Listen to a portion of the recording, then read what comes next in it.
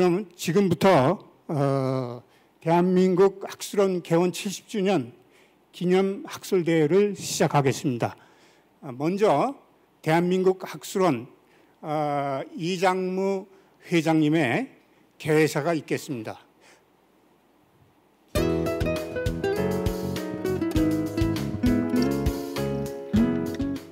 어, 존경하는 어, 회원님 여러분, 오늘 총회와 부회 그리고 오찬 모임으로 매우 고단하신 중에 학술원 개원 70주년 기념 학술대회에 참석하셔서 자리를 빛내주셔서 어, 대단히 감사합니다. 어, 여러분께서 아시다시피 우리 학술원은 학문 발전의 에, 토대 위에 국가 발전을 이루고자 하는 국민의 여망에 국민적 여망에 의해서 출범해서 어, 이제 어, 70주년 기념 그 학술대회를 하게 됐습니다. 개원 70주년을 기념하는 대한민국 학술원에서 개최되는 이번 학술대회는 특별한 의미가 있습니다. 이 시대는 격렬한 기후변화, 팬데믹, 인공지능을 위시한 과학기술의 눈부신 발전, 그리고 초연결 사회 등으로 미래를 예측하기 어려운 대전환기를 맞이하고 있습니다. 그러므로 우리나라 최고 속하 계신 회원님들께서 그간의 경륜과 연구하신 결과를 토대로 각 학문 분야에서 현재와 미래의 사회를 통찰하고 전망하는 것은 매우 의의가 있다고 생각합니다. 오늘 학술대회에서는 대전환기의 통찰과 전망이라는 대주제를 가지고 이한구 회원님께서 인공지능 시대의 포스트 인문학을 유장희 회원님께서 대변혁기 불확실성 시대의 세계 경제 전망을 박승원 회원님께서 대전환기의 데이터 과학을 박승호 회원님께서 기후변화와 농업에 대해서 각각 연구 결과를 발표하시게 되었습니다. 대전환기가 시대적 화두가 된 오늘날 대전환교의 통찰과 전망이라는 주제는 매우 적절하게 생각이 됩니다. 대한민국 개원 70주년 기념 학술대회를 위해서 연구해 주시고 이 자리에서 발표해 주실 네 분 회원님께 감사드리고 또한 각 주제별로 지정 토론을 맡아주신 이돈희 회원님, 정기준 회원님, 김도환 회원님, 고희정 회원님께도 깊은 감사의 말씀을 드립니다. 오늘의 대한민국 학술원 70주년 기념학술대회가 우리나라 학술 발전에 기여할 수 있는 계기가 되기를 기대하면서 인사 말씀을 마치겠습니다. 감사합니다.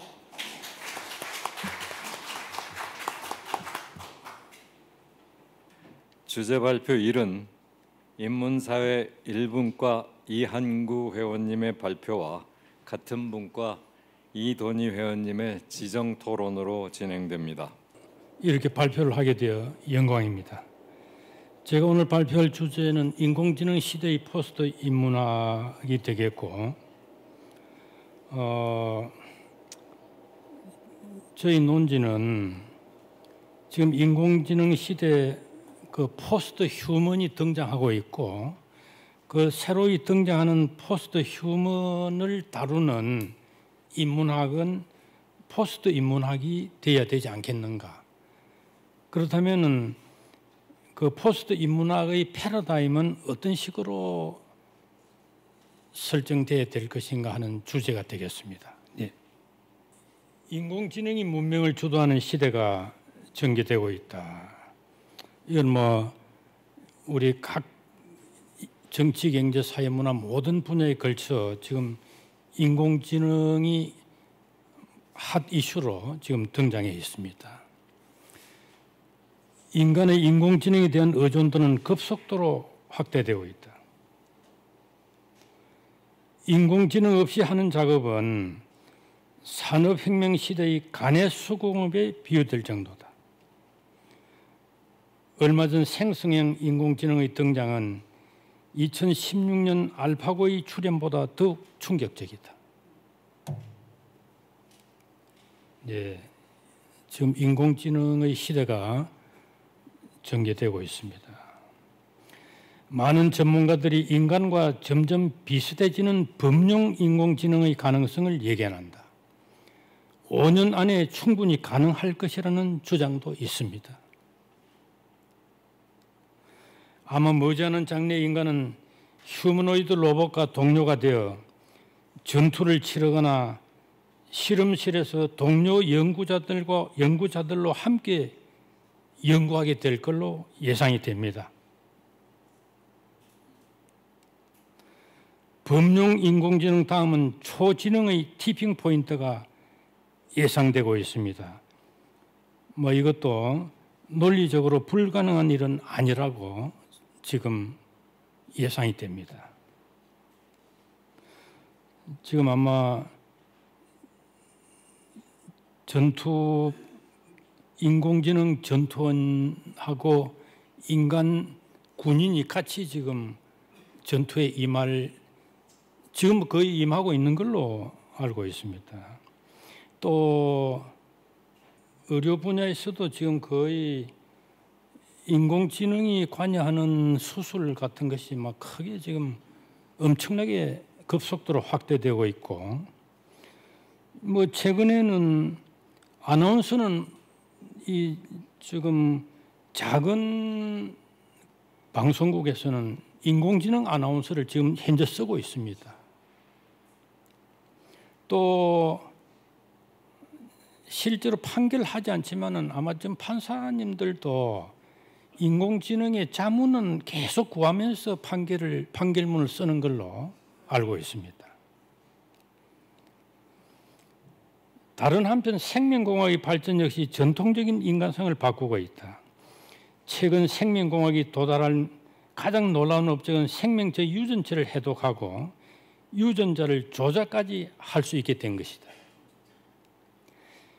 유전자 조작에 의해 선천적 질병을 치료할 뿐만 아니라 원하기만 하면 인간의 여러 행위를 변형시키거나 정강된 인간을 만들 수가 있다. 유전자 조작이라는 지금 현재 뭐 선천적 질환에 지금 부분적으로 허용되고 있지만은 뭐 이 기술은 법적으로 제재를 하지 않는 한 새로운 인간의 탄생을 지금 예고하고 있다 이렇게 말씀드릴 수 있겠습니다. 지금 우리가 먹는 그 식료품의 대다수는 유전자 변형 식품들입니다. 생명공학과 인공지능의 발달은 서로 영향을 주고받으며 공진화하고 있다. 이런 과정을 통해 출현하게 되는 새로운 인간을 현재의 인간 human과 구별하여 미래 인간이나 신인간 posthuman이라 부른다. 만약 human이 posthuman으로 진화한다면 human을 다루던 인문학 humanities는 posthuman을 논의하는 포스트 인문학 posthumanities로 바뀔 수밖에 없을 것이다. 그렇게 생각이 듭니다. 그러니까 human이 이제 posthuman으로 진화한다면은 그 human을 다루는 인문학 humanities는 자연적으로 posthumanities가 될 수밖에 없지 않겠느냐. 제 논리는 뭐 그겁니다.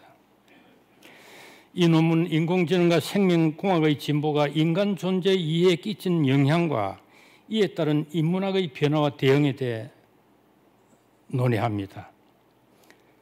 첫째, 인공지능과 생명공학의 발달은 신인간을 창조한다. 둘째, 신인간 posthuman이 등장한다면 포스트 인문학이 posthumanities가 논의되지 않을 수 없다. 포스트 인문학은 주제와 방법론에서 전통적 인문학과는 구분된다. 넷째, 포스트 인문학은 두 문화의 문제를 해결할 수 있다. 이 두 문화에 대해서는 차츰 설명드리겠습니다. 이제 posthuman의 등장, 현존 인간 이 이제 인공지능과 생명공학이 접합됨으로써 이제 posthuman이 지금 탄생 탄생되고 있다 이렇게 말씀드려야 되겠습니다. posthuman은 누구인가? posthuman을 향한 두 갈래의 길이 뚫리고 있다. 첫째 길은 생명공학을 이용한 증강인간, transhuman이라고 뭐 초인간이라고도 말하지만 저는 그냥 내용상 증강 인간의 번역이 적합하다 뭐 이렇게 생각합니다. 정강 인간 현재 인간을 한층 강화시킨 인간이다.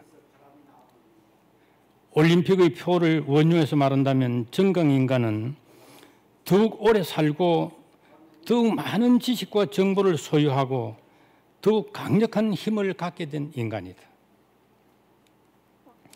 복제 기술은 유전적으로 똑같은 생명체를 만들 수 있는 길을 열었다.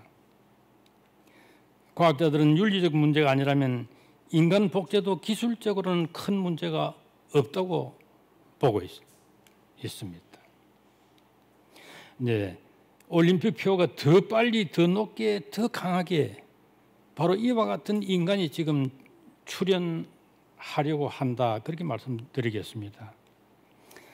생명공은 제의 신체 기관들을 가능하게 한다. 이것은 외부적인 보조 기구들에서 인공 심장이나 인공 혈관과 같은 내부 기관으로 발전하고 있다. 인간과 컴퓨터의 결합도 뜨거운 주제다. 구글 글라스가 대표적 경우다. 전자혈을 담고 있는 실리콘의 작은 조각인 마이크로칩을 인간의 두뇌에 심어 생각하는 대로 인체를 움직이도록 하거나 대량 용량의 기억을 저장하여 판단력을 극대화하는 기술까지 시도되고 있다. 이거 뭐 직접 그 모스크가 이 실험을 지금 하고 있습니다. 최근에는 인간의 정신을 복사하여 인터넷에 실는 가능성까지 거론되고 있다. 마인드 업로딩이라고 합니다. 이렇게 되면 인간은 육체 없이 정신만 존재하는 상태가 되며 영생에 대한 인류의 소망은 사이버 공간 속에서 실현된다고 할 수 있다.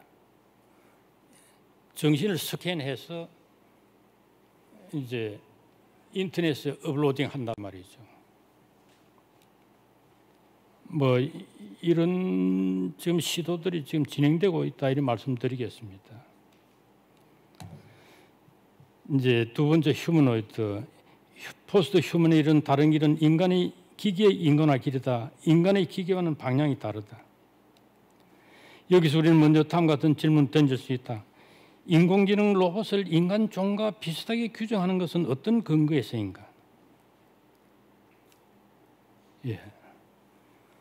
이제 아까 제가 말씀드린 정강 인간이라는 것은 인간에다 이제 그 인공지능을 뭐 인공지능과 생명공학의 기술을 가미시켜서 지금 transhuman을 만들어 내는 것인데 반해서 그럼 기계 인공지능이 이거 인간과 같이 된다는 논리는 뭐냐 이런 질문을 우리가 던질 수 있지 않겠습니까?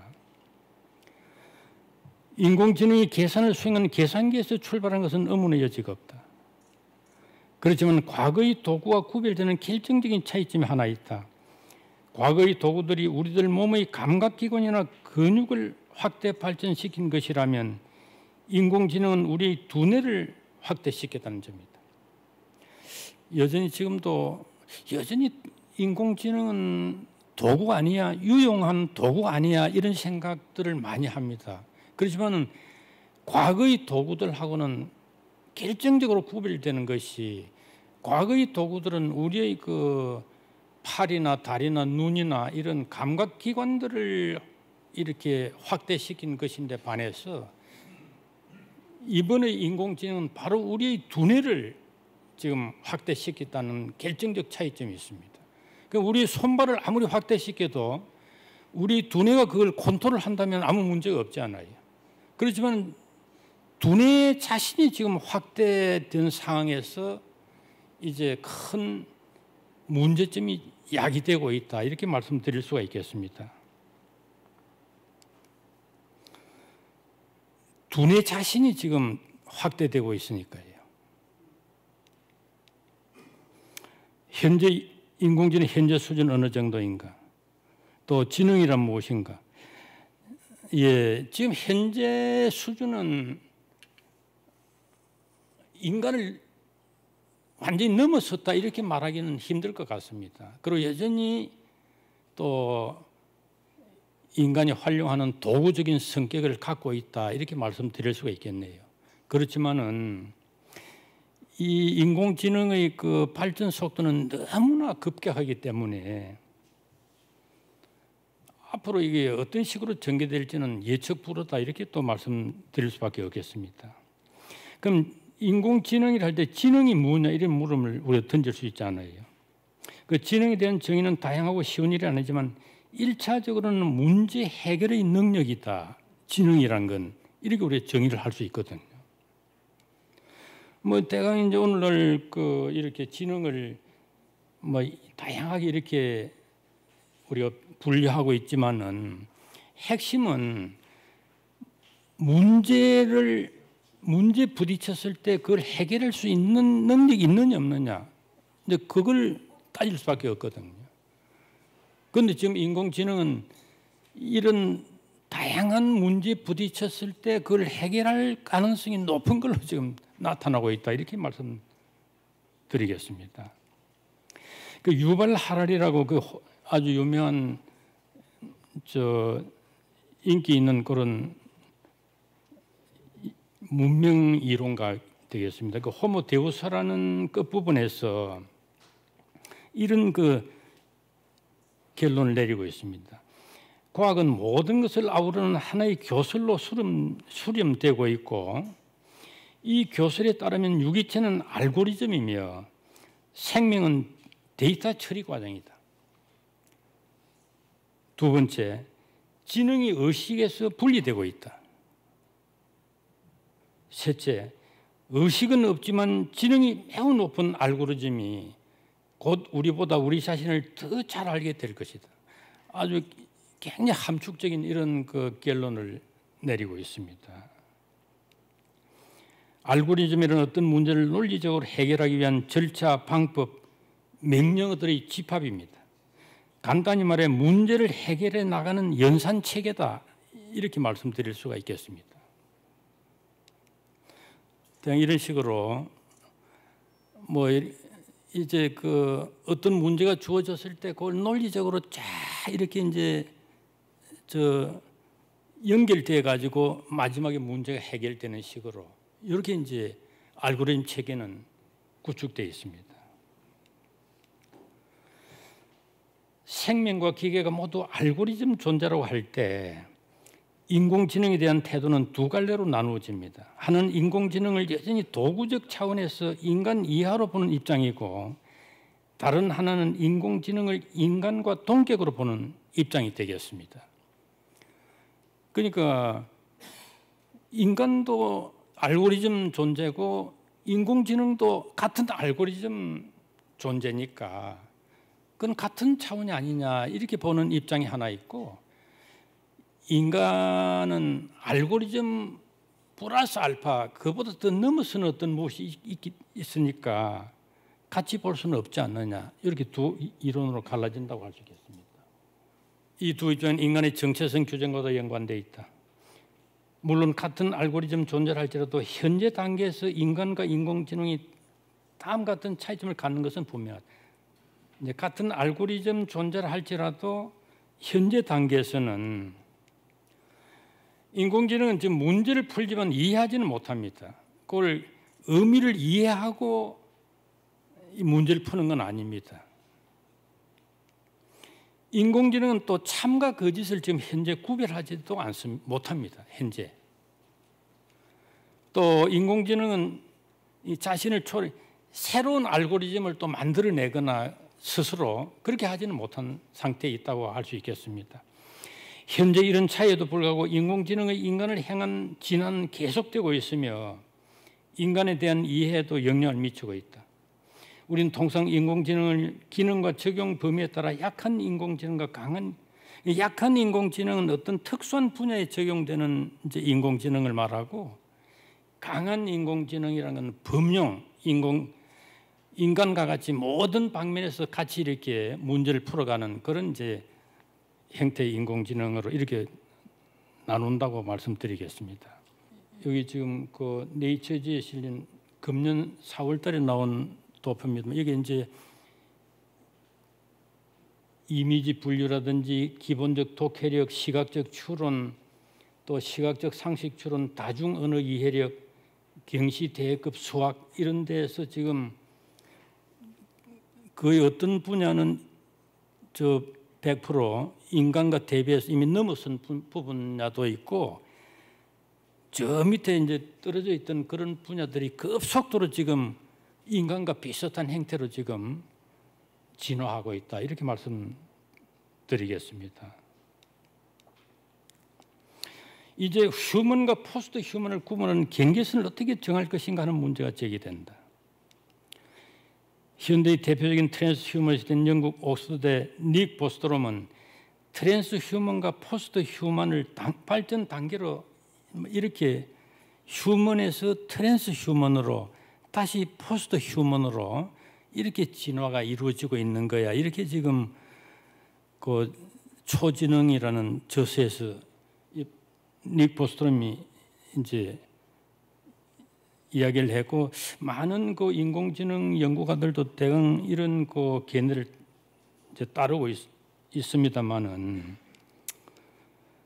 그 제가 생각에는 이 transhuman에 대해서 정도의 개념을 적용하지 않을 수 없겠다. 이제 그런 생각을 합니다. 또 휴머노이드 로봇에 대해서도 정도의 개념을 적용할 수밖에 없겠다. 그 제가 말씀드리는 것은 이제 이렇게 되겠습니다. 너무 추상적인 논의를 하지 않기 위해서 그럼 human과 transhuman을 어떻게 구분, 구분할 거냐? 그것은 이제 능력의 향상을 위해 유전자 가위질을 통해서 탄생한 인간부터는 transhuman이다. 이제 제 기준은 그겁니다. 그 다음에 그럼 transhuman과 posthuman 어떻게 구분할 거냐?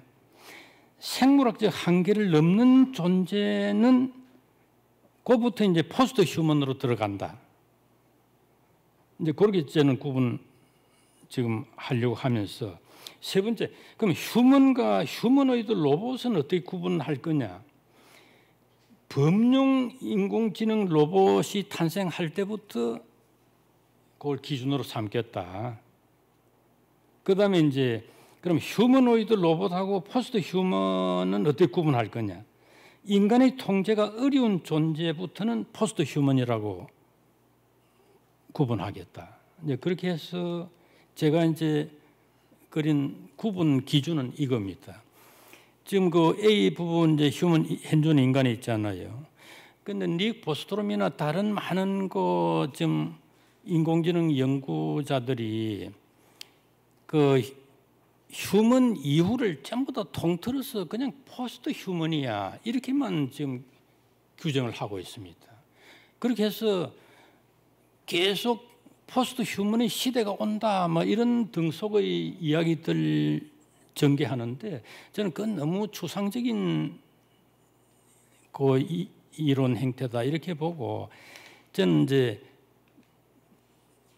여러 사람들이 posthuman이라고 부르는 것을 일단 두 여러 층으로 나누었습니다.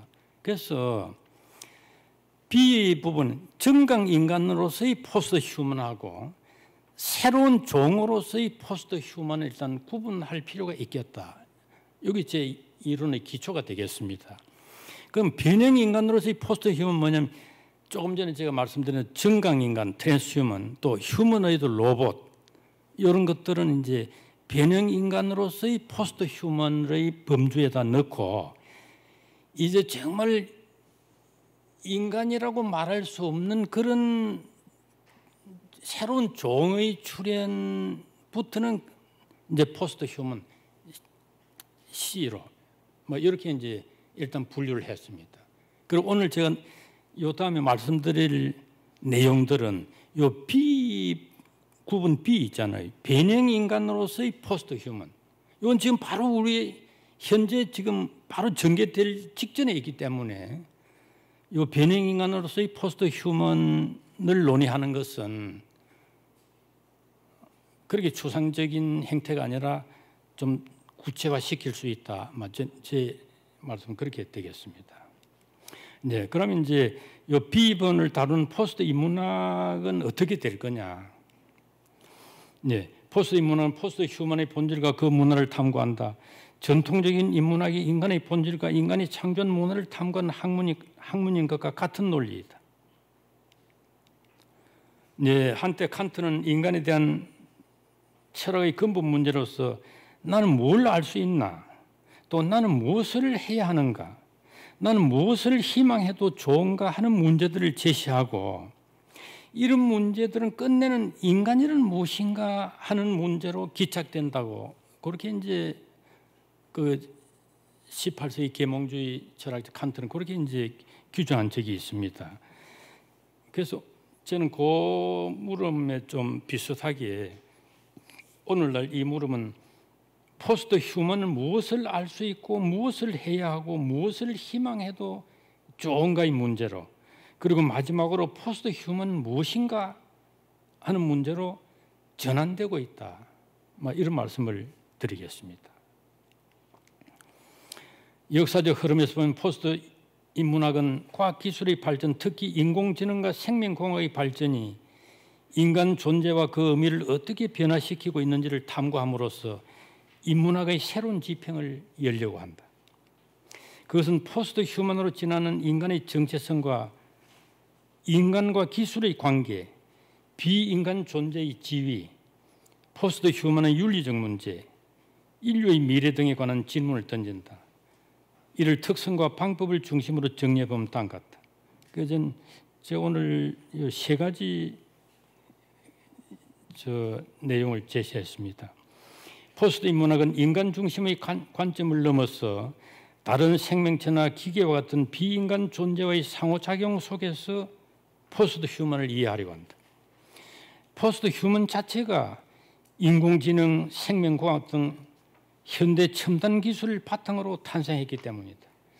우리는 이를 탈인간 중심주의 혹은 posthumanism이라 부를 수 있다. 두 번째, post 인문학은 전통적 인문학의 방법론인 해석학적, 개성기술적 방법론 대신에 다양한 학제적 방법론을 채택한다. 세 번째, post 인문학은 좁은 의미의 전통적 인문학 영역에만 머물지 않고 사회과학, 자연과학 등 다른 분야와의 학제적인 연구를 통해 인간과 사회에 대한 통합적 지식과 선의 실현을 추구한다. 제가 오늘 그 post 인문학의 내용 세 가지가 되겠습니다. 그래서 이제 그 조금 부연 설명드린다면 탈인간 중심주의 연결망 존재론. 21세기 즉 posthuman이 된다는 건 뭘 의미하는가? 인간 중심주의인 휴머니즘과 포스트 휴먼의 관점에서 세상을 보는 포스트 휴머니즘은 어떻게 구별되는가? 그러니까 휴머니즘과 포스트 휴머니즘 지금 이제 좀 대비해서 그렇게 이제 말씀드리려고 한 겁니다. 예. 포스트 휴머니즘은 새롭게 등장한 포스트 휴먼의 관점에서 세계를 이해하는 담론이다. 그것은 구체적으로는 첨단 기술을 통해 인간의 신체를 변형하여 인간의 육체적 정신적 능력을 개선하려는 문화운동으로 나타나기도 하고 또 인공지능이 고도화되어 현재 인간과 같은 조건을 모두 구비한다면 인간과 같은 권리와 인격을 인공지능에게도 부여해야 한다는 주장으로 나타나기도 합니다. 그래서 이제 이 포스트 휴머니즘의 논의에서는 생명과 기계에 정신과 물질, 인간과 동물의 전통적 이분법이 모두 해체된다. 우리 이제 전통적 그 인문학 휴머니즘에서는 여기 이런 것들이 다 이제 구별되는 식으로 되어 있었잖아요. 그런데 이제 생명과 기계, 정신과 물질, 인간과 동물 이런 이분적 구분이 해체되고 새로운 이제 그 분류 논의가 제기될 수밖에 없다 이렇게 말씀드리겠습니다. 이런 관점에 보면 인간이 이성의 능력을 갖고 있다 해서 어떤 특권적 존재도 아니고 만물의 척도나 세상의 중심도 아니다.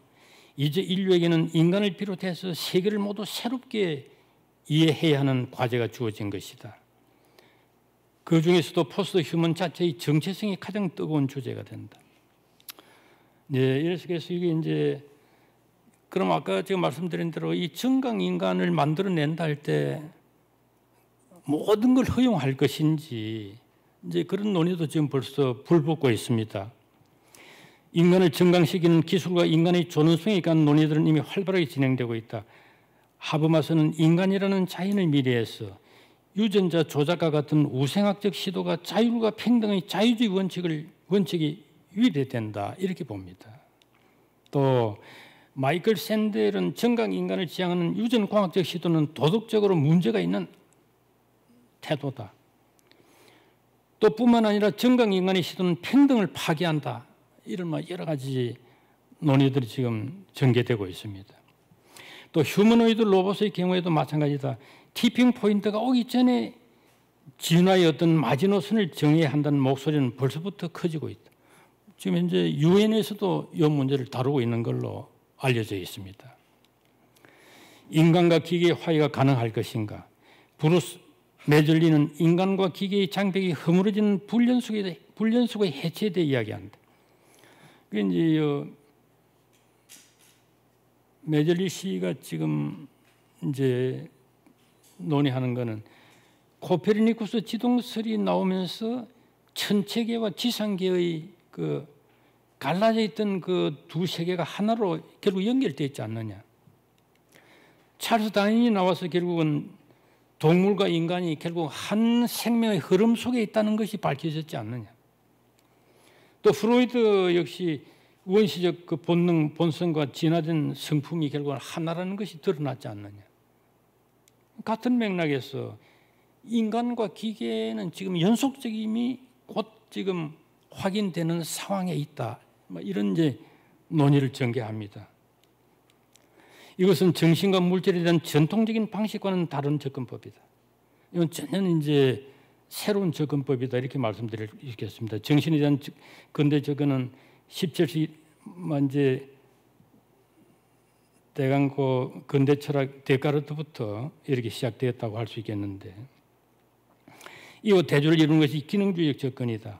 우리가 기능주의적 입장에서 보면 인간의 정신작용은 일종의 계산적 과정이다. 그리고 정신열은 바로 정보 처리 장치로서의 컴퓨터 프로그램과도 같은 거야. 기능주의자들은 우리의 정신적 속성은 다양한 물리적 상태에 복수적으로 실현 가능하다고 생각합니다.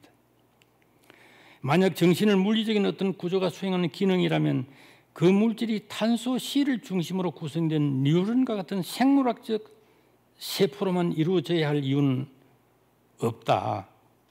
실리콘 중심의 물질을 기반으로 해서도 정신은 실현될 아 이건 이게 지금 그 포스트 휴먼을 긍정적으로 보는 입장에서는 우리가 정신이라고 부르는 것, 것은 결국은 우리 세포라는 건 탄소를 중심으로 해서 만들어진 행태니까 이런 여러 가지 논의들을 연결망 이론. 결국 그 포스트 휴먼은 이제 개체적으로 독립적으로 존재하는 그런 개별적 존재론이 아니고 이제 하나의 그 연결망 속에 존재하는 행태로 지금 전환되고 있다는 그런 뭐 이야기를 드리고. 전통적 인문은 개체 존재 전제했는데 이번에 포스트 인문학은 연결망 존재를 기반, 기반으로 삼는다.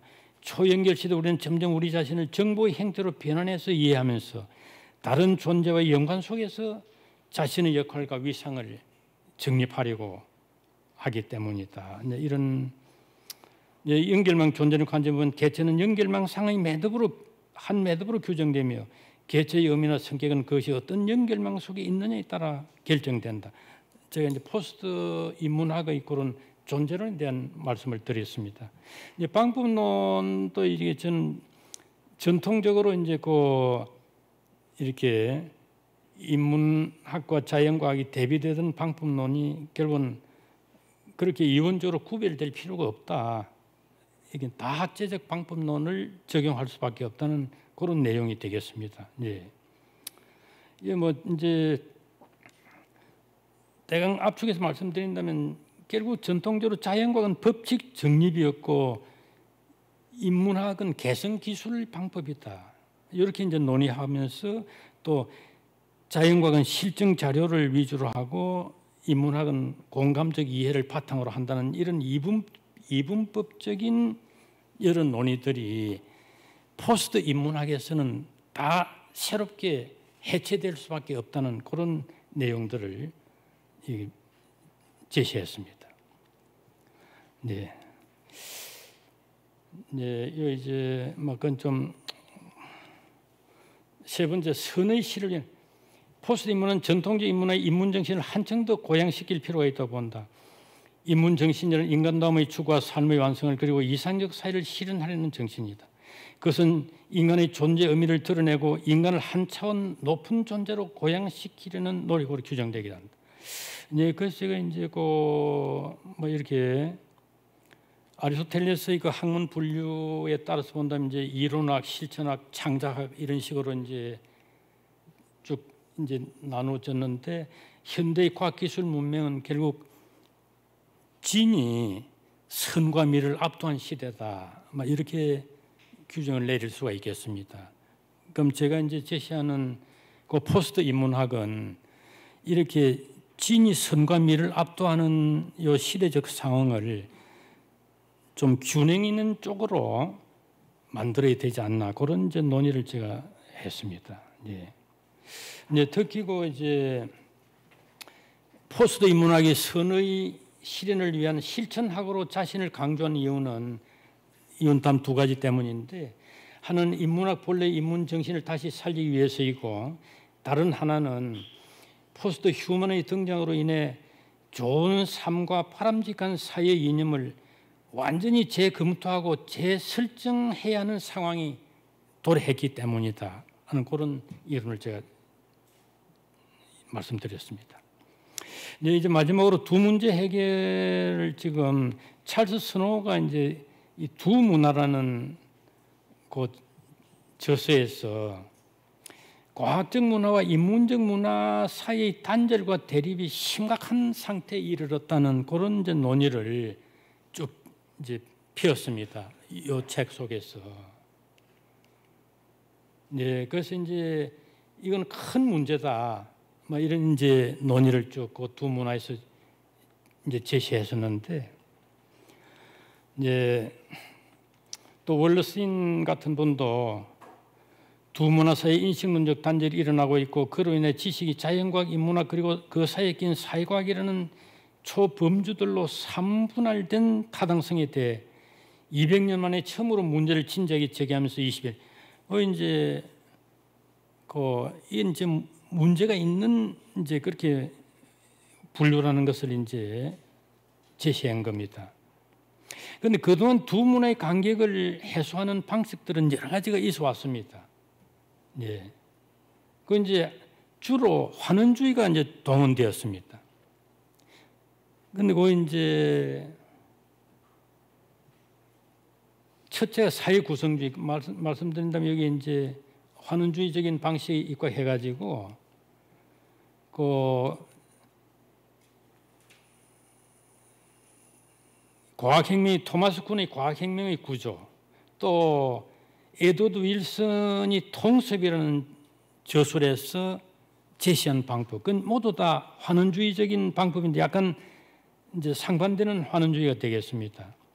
이제 토마스 쿤은 이제 과학혁명의 구조에서 결국은 과학이라는 것도 사회 문화의 그 현상 속의 하나로서 진리라는 것도 결국은 문화적인 배경 위에서 결정되는 것이 아니냐 이제 그런 식으로 해서 그 두 문화의 간격을 극복하려고 했었고 또 이게 지금 윌슨은 통섭에서 이분은 진화론에 근거해 가지고 결국 그 모든 거는 진화론적으로 다 설명되는 것 아니냐. 이제 이런 식으로 논의를 전개했지만은 요 두 해결 방식 모두 다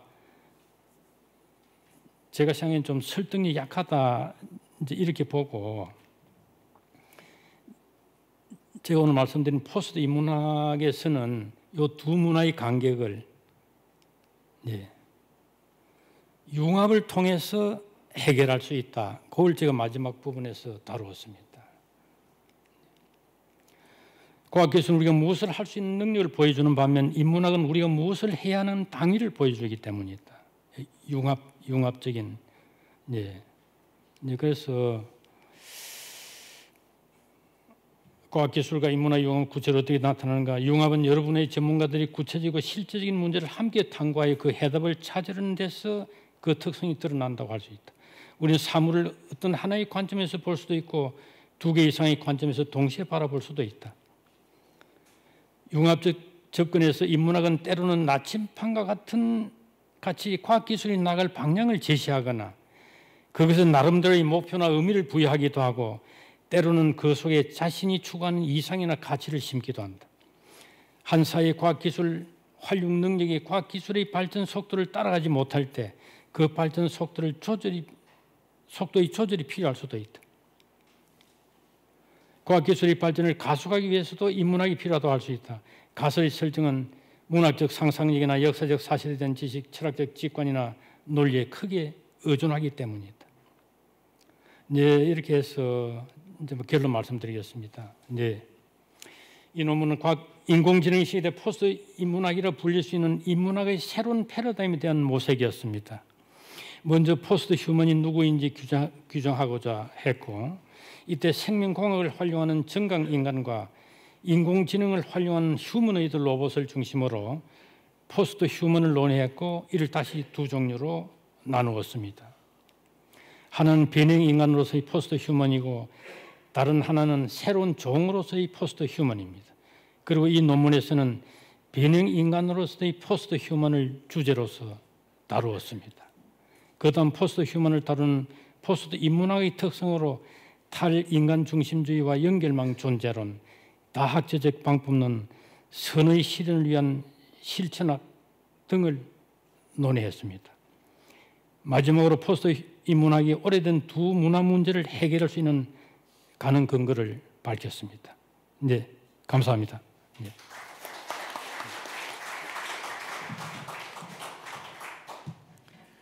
이한구 회원님 수고하셨습니다.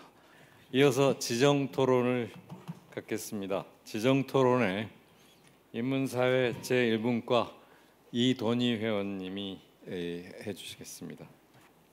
어, 지금 그 이한구 어, 선생님이 이 말씀하신 인공지능 시대 포스트 인문학 뭐이 세계 이 세계에서 교육자들이 어떤 어려움을 겪게 되겠는가 네, 이것을 중심으로 해서 지금 얘기를 나눌까 합니다. 어, 뭐 교육은 인간 성장, 인간 성장에 관한 어떤 의미에서는 전반적으로 관리하는 것이 어, 교육입니다만은 우리 학교 교육이라는 것은 주로 어, 지식을 중심으로 해서 성장하는 세대를 보살피고 있습니다. 이 지식들 가운데 대체로는 뭐 크게 분류해서 어, 인문학 부문이 있고 또 과학의 어, 영역이 있고 이렇게 생각을 한다면은 과학은 대체로 빨리 변하고 또 새로운 아이디어나 새로운 이론이 예, 결론도 비교적 인문학에 비해서 빠릅니다. 네, 그런 데 비해서 이 철학은 문제만 그냥 수두룩하게 제시해 놓고 답이 없어요. 계속 이야기를 합니다. 1세기 전의 이야기, 4천년 전의 이야기도 지금도 하고 뭐 그런 상황이기 때문에 이 교육하는 사람들이 과학자들의 이야기는 들어서 실천에 옮기기는 비교적 쉽습니다만은 철학자들의 이야기는 들어서 실천하려고 하면 대단히 어렵습니다. 왜 철학적인 논의의 결론이 끝날 때까지 기다려야 합니다만 그러나 아이들은 지금 크고 있는데 그냥 기다리고 있을 수는 없습니다. 그러니까 항상 교육에 종사하는 사람들은 이 시대적인 변화에 적응하지 않을 수 없으면서 그 변화가 주는 급격성 거기에는 시달림을 받게 마련입니다. 제 경험으로도 아, 제가 기억하는데 1968년인 것으로 기억을 합니다만은 제가 미국에서 공부하러 갔을 때 박사 과정에 이제 그렇게 철학과에서 제가 석사 과정을 마치고 교육 철학에서 박사 과정을 갈 때 그때 질문을 아직도 기억을 하고 있는데 세계가 급격히 사회가 급격히 변해가면은 어, 교육에 종사하는 사람이 어떤 어려움을 겪는가 하는 그런 질문이었습니다. 어, 뭐 그때 뭐 평소에 뭐 그런 질문을 받아봤던 것도 아닌데 그냥 문제를 보니까 그 질문이에요. 조금 생각하다가 그냥 답안을 쓰기는 에, 가치 판단, 에, 교육적 가치 판단을 어떻게 할 것이냐 이것이 혼란스럽고 어렵게 될 것 같다고 하는 취지로 이제 답안을 작성했는데 뭐그 그 답안이 출제하는 분들에게 비슷하게는 맞았던 모양이죠.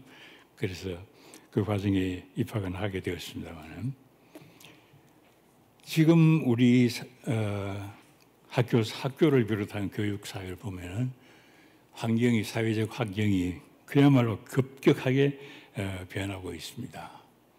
이 변하는 것은 학교 모양이 바르고 건물이 변하고 하는 정도가 아니라 이 학교가 계속해서 있을 수 있겠느냐고 하는 존재할 수 있겠느냐고 하는 그런 위협까지도 느낄 수 있게 되어 있죠.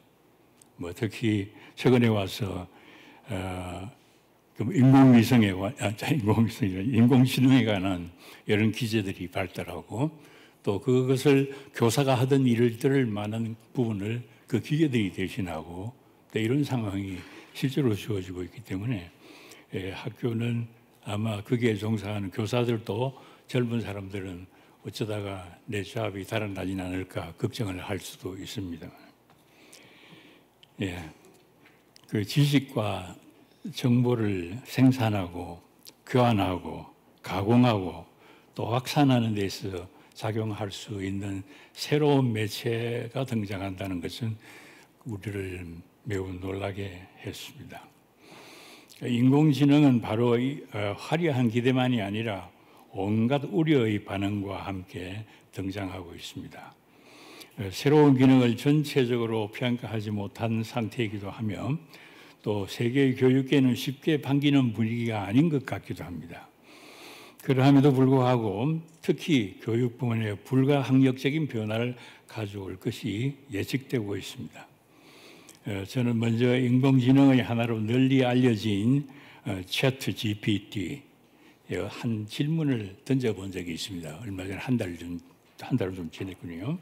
어떤 질문을 던졌냐면은 한 국가의 민주주의를 발전케 하려면은 경제와 교육의 어느 편이 더 긴용, 긴용하냐, 긴요하냐. 이 질문을 어, 던졌더니 그 GDP의 답변이 예, 세 가지를 해줬는데 어, 질문에 대한 반응 속도도 매우 그 어, 빨랐어요. 뭐 기다렸다고 할 것도 없이 그냥 질문이 떨어지자 바로 올라왔어요. 세 가지의 답을 즉시에 줄줄이 올려놓았습니다. 그리고 답안을 세 가지 답이라는 게 이제 세 가지 이제 선택 이거 이렇게 답할 수도 있고 이렇게 답할 수 있고 세 가지를 내주셨어요. 근데 즉시에 줄줄이 내놨어요. 그리고 답안을 살펴봐도 뭐 이런 생각 저런 생각이 있을 수 있다는 듯이 약간의 관점을 달리해서 대답하기도 했습니다. 놀랍게도 문장의 구성과 논리도 정연하였고 또 우리 교육학에서 교육 평가에서 적용하는 타당도의 수준도 놀라울 만큼 그 훌륭했습니다. 왜 인공지능인가 하는 겁니다. 학교는 지식을 전달하고 개발하는 데 요구되는 능력을 획득해야 하는 전문적인 제도입니다. 어, 특정의 교훈, 교의, 학설, 사상 등을 체계적으로 전수하고 어, 비판적으로 검토하는 교양적 지식도 있고 또 전문적 사지를 기르는 어, 지식도 있습니다. 지식은 뭐 교육은 지식에 관한 것만은 아닙니다만 적어도 학교 교육의 상황에서는 지식이 그 대종을 이루고 있는 것이죠. 그러나 새로운 21세기로 전환하는 무렵에 이르러 학교 교육을 비롯한 제도적 구조와 기능은 자체의 경직된 관성에도 불구하고 소위 4차 산업 중심적 지식 정보 체제의 개편과 함께 진행되는 시대적 환경의 변화에 적응해야 하게 되어 있습니다. 네, 학습의 내용은 문자로서 전달되는 어, 지식 그 우리가 흔히 명제적 지식이라고 합니다만은 지식 그 중심을 이루, 이루 기도 하지만은 예, 이에 따라 인간의 다양한 지력을 활성화하는 교육적 경험의 장이 아주 폭넓게 확장되고 또 새로운 활력을 지니기 시작하였습니다. 어, 지금까지 소통 수단의 체제는 어, 주로 언어, 문자 혹은 기호, 정보의 재생, 또 원격 전달, 시청각적 장비, 그리고 통신기기, 전산장치 등에 의한 정보의 전달 혹은 확산의 형태로 발달한 것이었습니다. 그런데 이러한 발달은 정보의 생산과 평가와 활용과 가공을 가능하게 하고 어, 기계적인 전달, 교환, 재생, 어, 재생산, 보급, 확산의 형태를 취한 것입니다.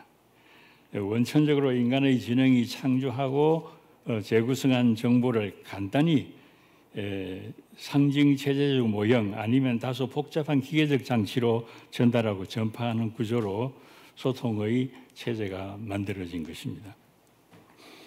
그러나 지금 우리의 관심사인 인공지능에 속한 것도 일종의 기계적 장치와 작동을 의미하지만은 비록 원천적인 정보의 생산은 아니라고 하더라도 재구성의 과정을 담당한다는 점에서 그만큼의 이차적인 재창조적 정보의 어, 생산을 가능하게 한다는 것입니다. 예, 말하자면 이미 만들어진 정보들을 사용하고 재구성한다는 의미의 생산 능력을 가진 새로운 소통의 어, 기재적인 장치가 만들어지고 거기에 지능이라는 인간에게 적용하는 말을 어, 적용하고 있습니다. 이렇게 봤을 때 우리는 말하자면 개방적으로 온갖 정보에 노출되어 있습니다만은 그래 우리가 가지고 있는 지식은 내가 그것을 받아들여서 소화하고 사용하고 그러면서 소유하고 있는 것이 나의 지식입니다.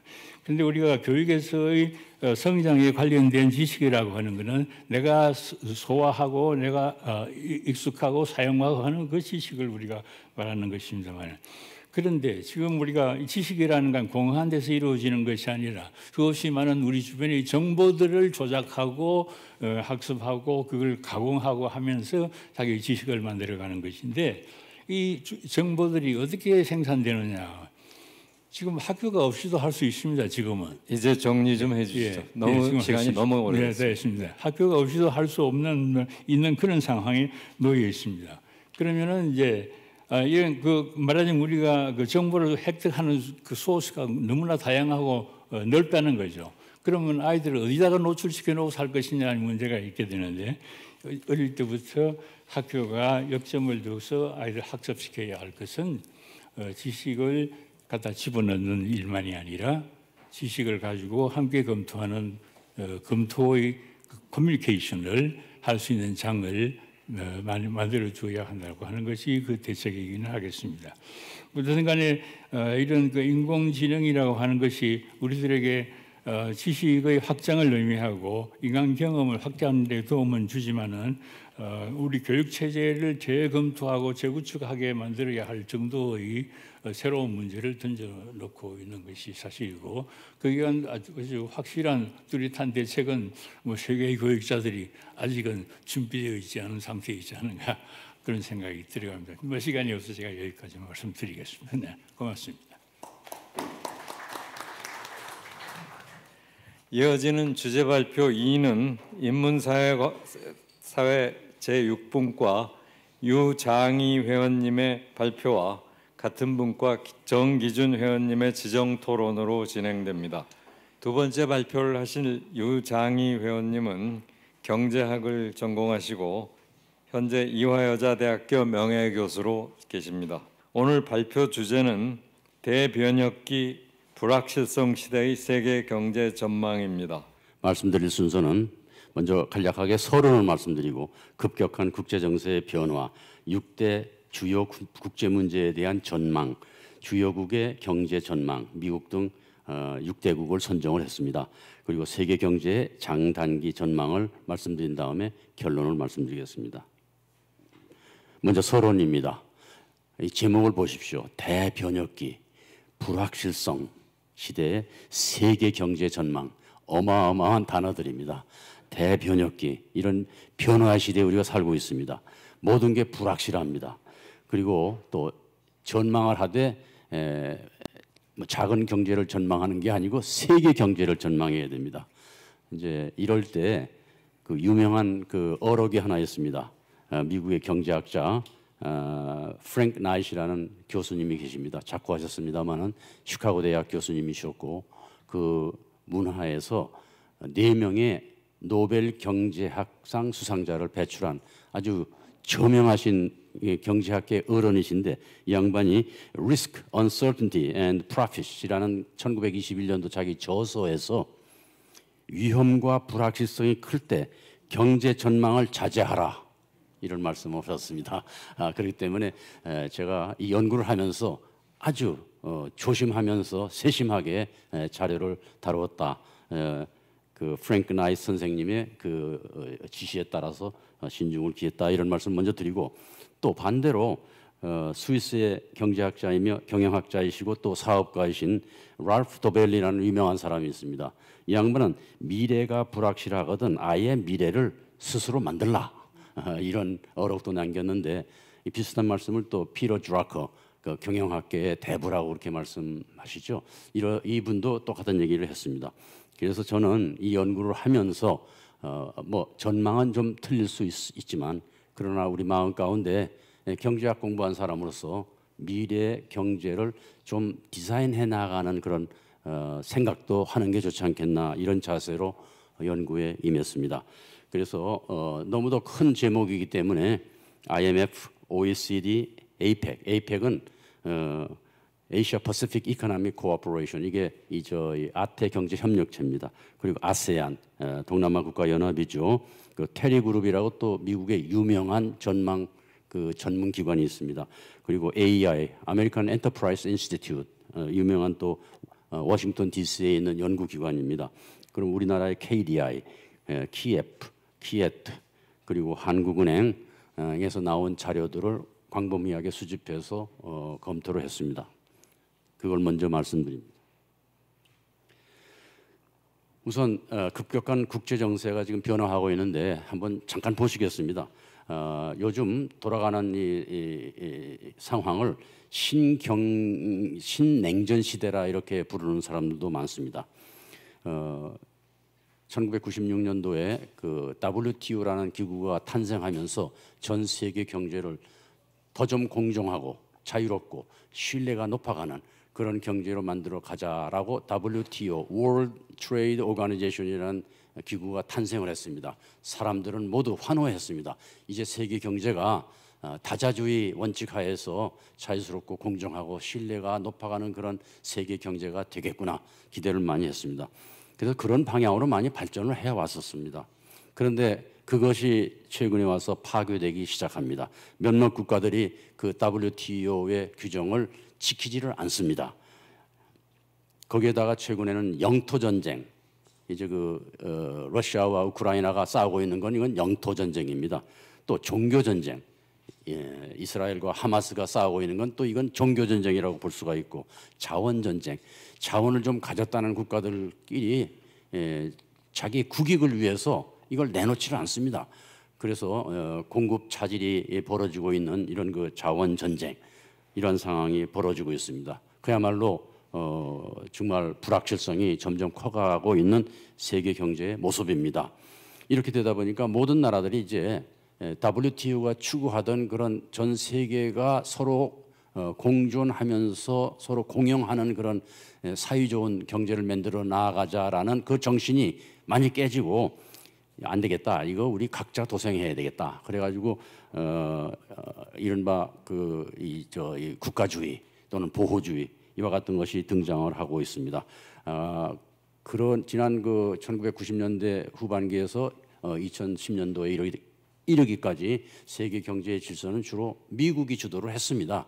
WTO를 중심으로 해서 또 OECD의 그 권고를 받아들여 가면서 미국이 주역의 역할을 담당했습니다. 그런 시대를 팩스 아메리카나라고 경제학에서도 그렇게 얘기를 합니다.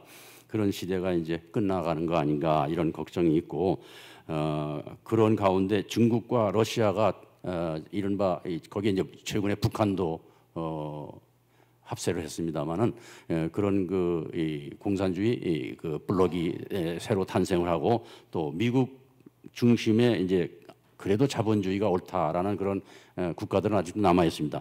그들이 이렇게 두 개의 블록을 형성을 해서 서로 경쟁 전쟁의 성 선까지 가지 않나 이런 걱정이 나오고 있습니다.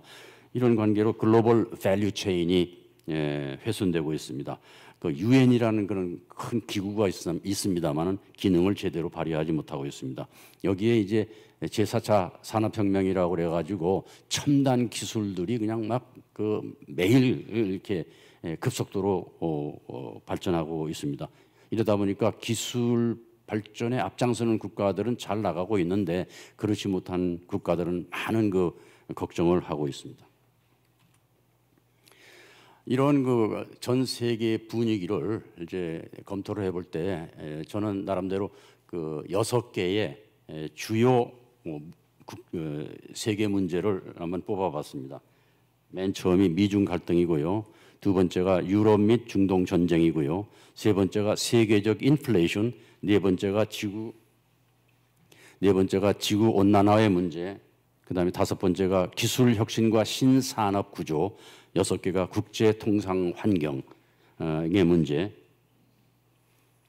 이렇게 여섯 개의 주요 문제를 뽑아봤습니다. 이 여섯 개의 주요 문제 때문에 지금 전 세계 경제는 그야말로 대변혁을 겪고 있고 불확실성이 높아가고 있고 그렇습니다. 미중 갈등을 먼저 보시겠습니다. 아시는 바와 같이 1978년도에 덩샤핑이 개혁 개방을 어, 그 슬로건으로 내세웠을 때에는 그때 중국의 자세는 도강양회였었습니다. 그건 뭐냐면 중국이 잠재력이 크지만 이걸 뭐 뻐기면서 막 그 눈에 띄게 이렇게 나갈 것이 아니라 그냥 로우키로 중국의 아주 그이 이 실리를 추구하면서 조용하게 성장을 하자라는 뜻을 담고 있는 도강양회가 슬로건이었습니다. 그런데 시진핑이 등장하면서 이거를 무시를 하고 대국 굴기로 갑니다. 중국몽이라는 슬로건을 탁 내놓고 중국이 세계 1등 국가가 되겠으니까 그 길로 가자. 대국 굴기가 현재 중국 사람들의 정신을 잡고 있는 슬로건입니다. 그러다 보니까 이제 통상 질서라든지 첨단 기술, 군사력, 그 대만 문제 이런 데에 있어서 미국과 중국이 갈등을 겪을 수밖에 없습니다. 그런데 미국과 중국의 문제가 이제 참 국제 문제 중에서 가장 큰 문제인데 제가 그래서 일본으로 이 저이 과제를 제시를 했습니다만은 이걸 놓고서 사람들이 그 학계에서도 많이 그 어, 논란을 벌이고 있습니다. 이 미국과 중국의 1, 2등 이, 이 순서가 과연 바뀔 것이냐 안 바뀔 것이냐 세 가지 가설이 있습니다. 첫째 첫 번째 가설은 아 중국이 이렇게 나가는 게 좀 센 방향으로 아, 빠른 속도로 발전을 하고 있기 때문에 중국이 남바원이 될 거다. 즉 G1 시대가 올 것이다. 두 번째 가설은 아니다. 어, 뭐 중국이 발전하는 거 빠르고 어, 막강한 국가가 되겠지만 그러나 역시 미국이라는 걸 의심 의식하면서 어, 미중 평화 공존의 방식으로 나갈 것이다.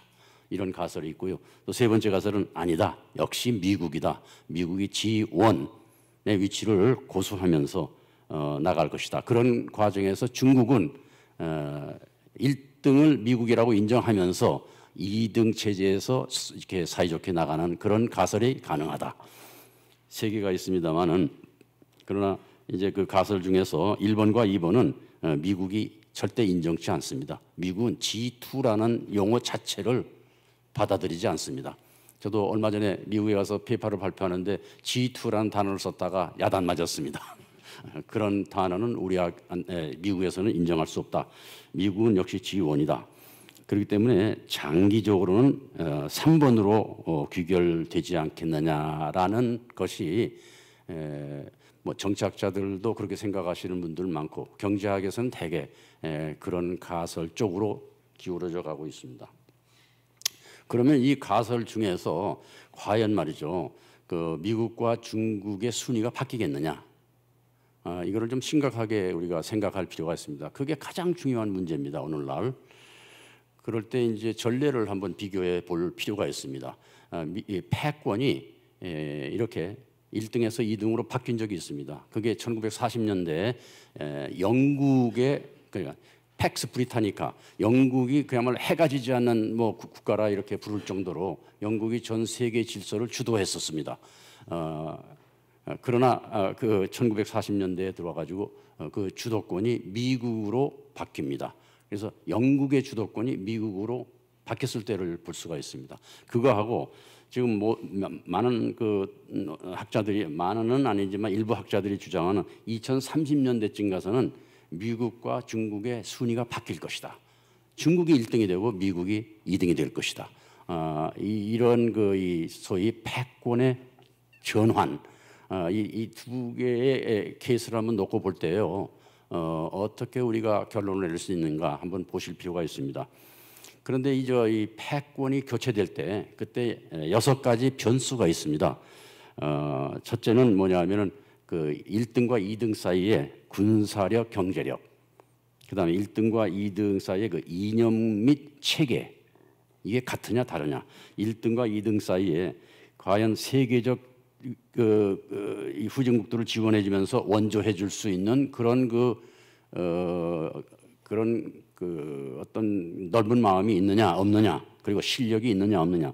어, 그리고 어, 네 번째 에, 금융 주도권이 1등에서 2등으로 넘어갈 수가 있겠느냐.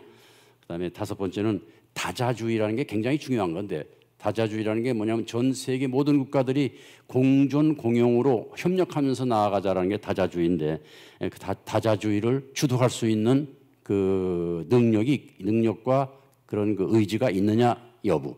마지막으로 어 1등에서 2등으로 넘어갈 때 1, 2등 간에 어떤 공동 관심사라든지 공동의 적이 있느냐. 어 이제 그런 것을 가지고 어, 어 패권 교체의 가능성 여부를 판단을 하고 그렇습니다. 그래서 영국에서 미국으로 어, 패권이 전이될 때 그때는 이 여섯 개의 전제 요건이 다 만족이 됐었습니다. 어, 뭐 간단히 말씀드리면은 경제력과 군사력 면에 있어서 2차 대전 직후에 미국이 압도적이었었습니다. 영국을 훨씬 능가하고 있었습니다. 이념 및 체제에 있어서도 민주주의, 자본주의의 시장 경제를 영국과 미국이 공유하기 때문에 1, 2등이 바뀐다 그래서 뭐큰 어, 뭐 지장이 있, 있는 상황은 아니었었습니다.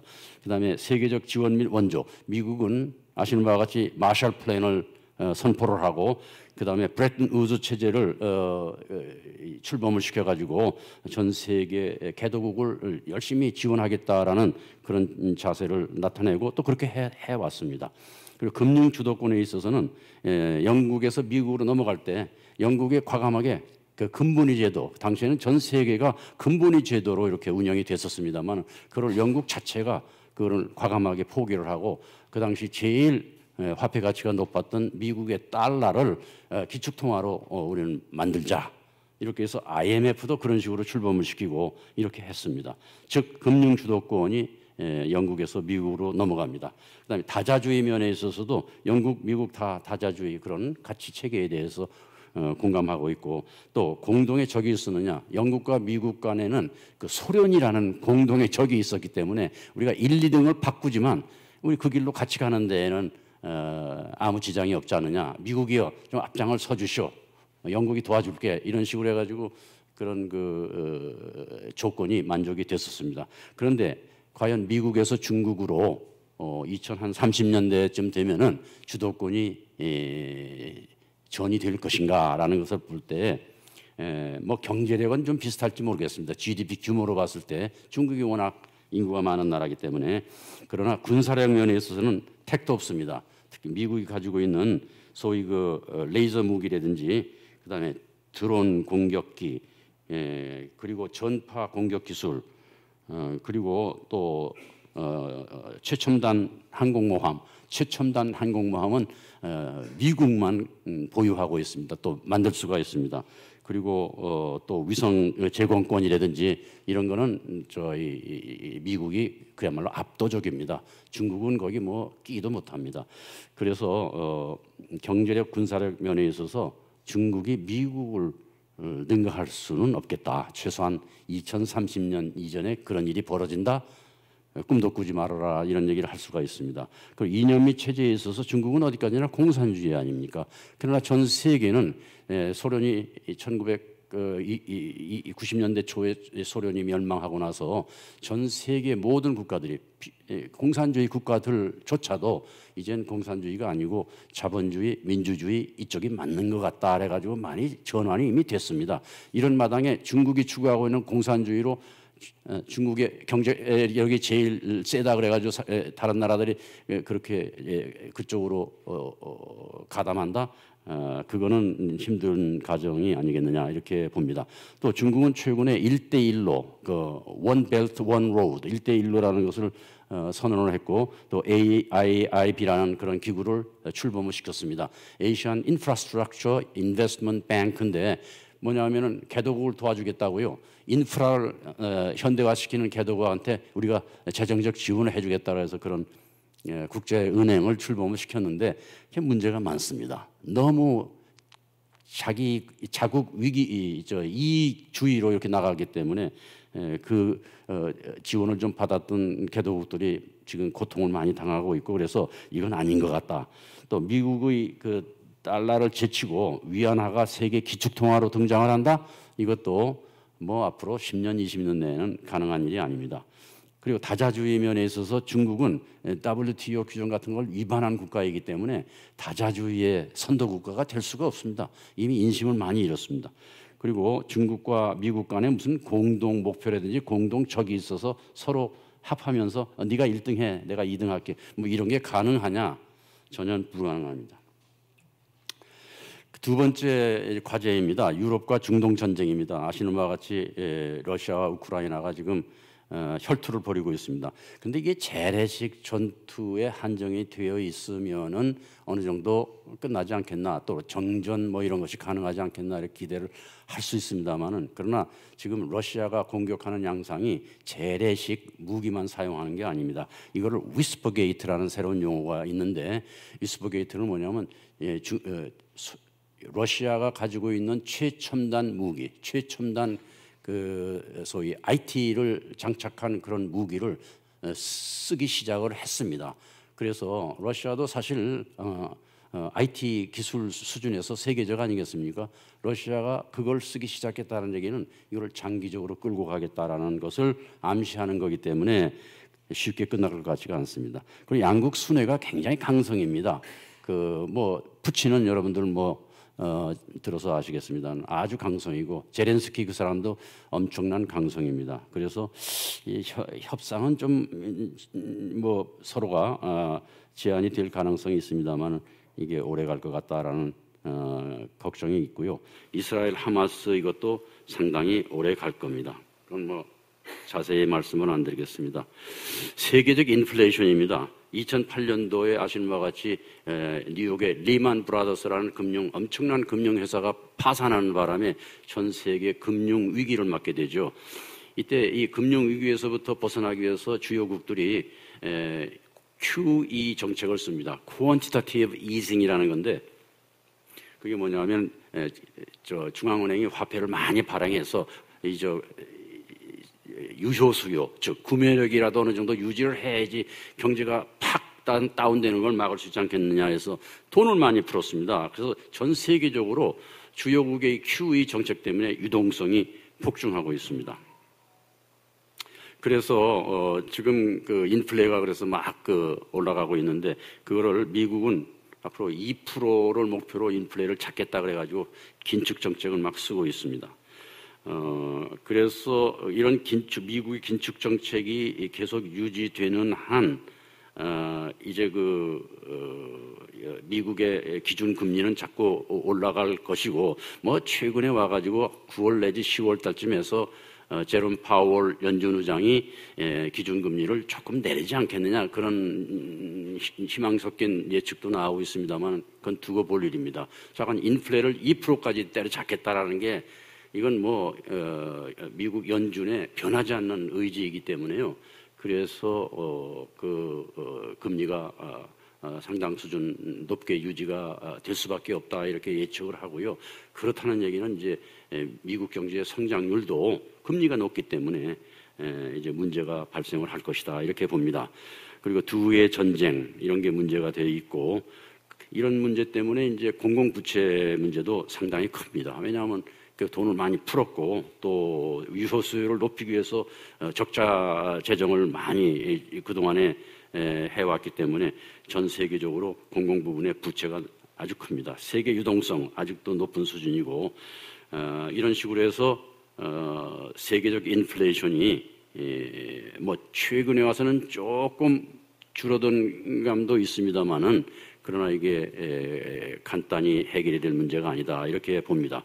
그리고 지구 온난화 문제입니다. 이게 참 심각합니다. 사실은 이 심각해서 1997년도 교토 의정서를 채택하는 것을 어, 시발로 해서 그동안 뭐 여러 번 콥 15, 16, 17, 콥 21에 이르기까지 그리고 파리 의정서에 이르기까지 이 지구 온난화 문제, CO2 절감 문제를 위해서 세계 지도자들이 여러 번 모여가지고 했습니다마는 그러나 이게 별로 효과가 없습니다.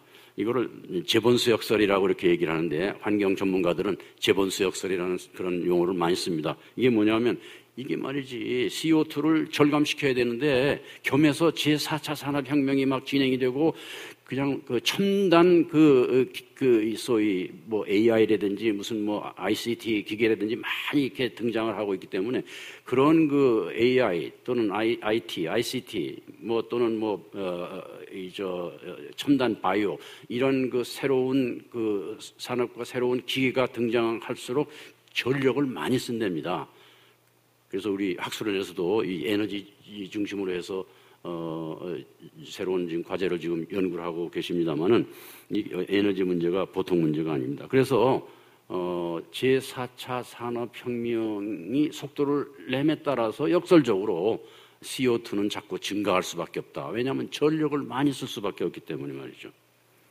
그런 걱정이 있어서 지구 온난화 문제도 쉽게 해결되기가 힘든 과제입니다. 기술 혁신과 신산업 구조입니다. 이건 음, 앞에서도 말씀드렸습니다만 저 첨단 기술을 그 막그 그 제시하면서 음, 산업 어, 혁명을 어, 빠르게 진행하는 국가들은 발전이 빠릅니다. 어, 그 발전이 빠른 나라 가운데 뭐 한국도 들어가 있습니다만은 그런 나라들은 음, 기술 혁신과 아, 이에 따라서 그 산업 구조를 많이 바꾸고 있습니다. 과거에 무슨 뭐 화학공업, 기계공업 이런 쪽에다가 그 새로운 그, 그 IT 기술을 접, 접목을 시켜서 이걸 모두 digitalization 일테면은 사람 쓰는 게 아니고 기계가 하는 이런 식으로 어, 어 사, 어, 산업 구조를 모두 바꾸고 있기 때문에 여기에서 그거를 해낼 수 있는 국가와 거기에 따라가지 못하는 국가들 간의 양극화가 심화되고 있습니다. 이 양극화는 국가들 간의 문제만이 아니고 국내에서도 많은 나라들이요.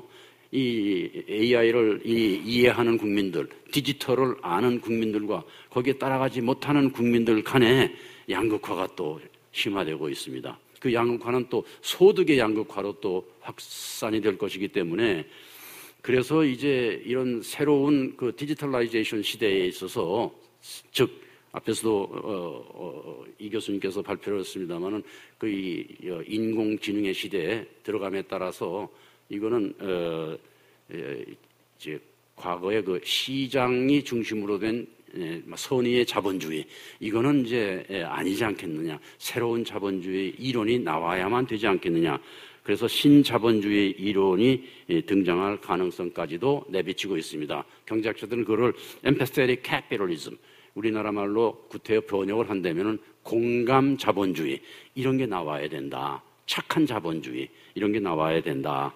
그 양극화를 완화시키기 위해서 말이죠. 마지막으로 국제 통상 환경입니다. 국제 통상 환경이 그동안에 미, 미국을 중심으로 해서 잘, 저, 이른바 멀티레터리즘, 다자주의가 운영이 되어 있습니다만, 왔습니다만은 중국 중심의 에, 이, 저, 택도 없는 그런, 음, 예, 일테면 에, RCEP라는 이, 저, Regional, 어, Regional Comprehensive Economic Partnership 이런 건데 에, 중국을 중심으로 한 이 아시아 국가들이 모여가지고 자유무역을 한번 해보자 뭐 이런 개념으로 RCEP라는 게 탄생을 했는데 이거는 WTO에 비하면 택도 없습니다. 이거는 거기 전혀 미치지를 못하고 있습니다. 그래서 국제 통상 환경이 이런 다자주의는 망가지고 이제 복수주의라고 부르는데 결국은 미국을 중심으로 한 정말 예, 자본주의, 자유주의, 그리고 공정무역, 그 다음에 신뢰무역 이런 걸 주, 중하게 여기는 국가들끼리만이라도 모여서 WTO 규정을 그동안 어겨왔던 국가들은 빼고 어, 우리끼리라도 에, 자유무역, 공정무역을 어, 추구해 나가자라는 그런 새로운 에, 그룹이 형성되지 않겠느냐. 그거를 플루리레탈라리즘 이렇게 복수주의라고 이렇게 부릅니다. 그런 것이 나타나지 않겠느냐. 그런 말씀을 어, 드리겠고요. 그래서 이 여섯 가지 문제가 다 아, 무겁습니다. 아, 심각합니다. 그 어느 하나의 문제도 쉽게 해결할 해결이 될 것 같지가 않습니다. 이런 가운데 이제 주요국의 무역 정책을 잠깐 보신다면 미국은 아까 말씀드렸습니다만 인플레 때문에 지금 죽을 지경입니다. 그래서 바이든과 트럼프가 아, 이제 지금 싸우고 있는데 누가 당선이 되느냐에 따라서 경제 정책이 좀 바뀔 거다 그렇게 예측을 합니다만 그럼에도 불구하고 어, 미국의 여론 주도층은 미국의 건국 정신, 즉 그 자유와 아까 말씀드린 공정과 신뢰 구축과 아, 그리고 평등 이런 것들이 에, 에, 창달되는 에, 그런 미국의 건, 건국 정신 이거는 지켜나가자. 그 세계 질서의 선도국의 역할을 미국이 담당해 나가자. 아, 이와 같은 걸 아직도 주장하고 있고 에, 바이든이 될, 되든지 트럼프가 되든지 누가 되든지 오피니언 리더들은 그 글로벌리즘 즉 멀티레터럴리즘 다자주의 이런 미국이 추구하는 좋은 이 철학 이거를 전 세계에 전파하는데 미국은 계속해서 나가자. 중국 경제는 좀 어렵습니다. 어려운 이유가 여러 가지 있습니다만 이저 중국이 지금 당하고 있는 어려운 것 가운데 후커우 제도라는 게 있습니다. 중국은 예, 가족 숫자를 어, 저 중앙 정부가 어, 제한하고 있습니다. 그리고 또 주거가 이렇게 이동이라든지 이사라든지 이런 것들이 자유스럽지가 않습니다. 그래서 부동산이 불안하고 어 그래서 예, 금년도에는 4 내지 5% 성장밖에 안 될 것이다. 아, 이렇게 그러니까 중국의 형편으로 보면 상당히 저성장입니다.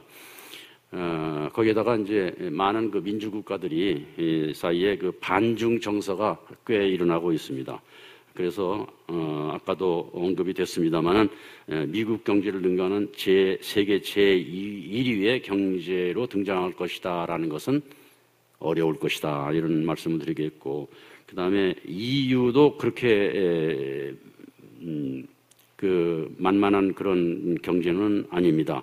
2023년도에 성장률이 마이너스 0.3%였었습니다. EU의 그 문제는 역시 그 독일 경제하고도 연결이 되어 있습니다만 여기도 저출산 문제, 노동력 부족, 관료주의, 그다음에 디지털화에서 조금 지체하는 현상이 나타나고 있습니다. 일본을 보시겠습니다. 일본은 일본 경제는 지난 43년 동안 놀라시겠습니다만 연평균 성장률이 마이너스 0.10%입니다. 그동안 그 잃어버린 10년, 잃어버린 20년이 아니고 잃어버린 40년이라고 해도 과언이 아닐 정도로. 그래서 최근에 2023년도에는 약간 회복세를 보였습니다만 어, 역시 금년, 내년 어, 0% 내외에 그치는 그런 저성장 음, 형편에서 벗어나지 못할 것 같다.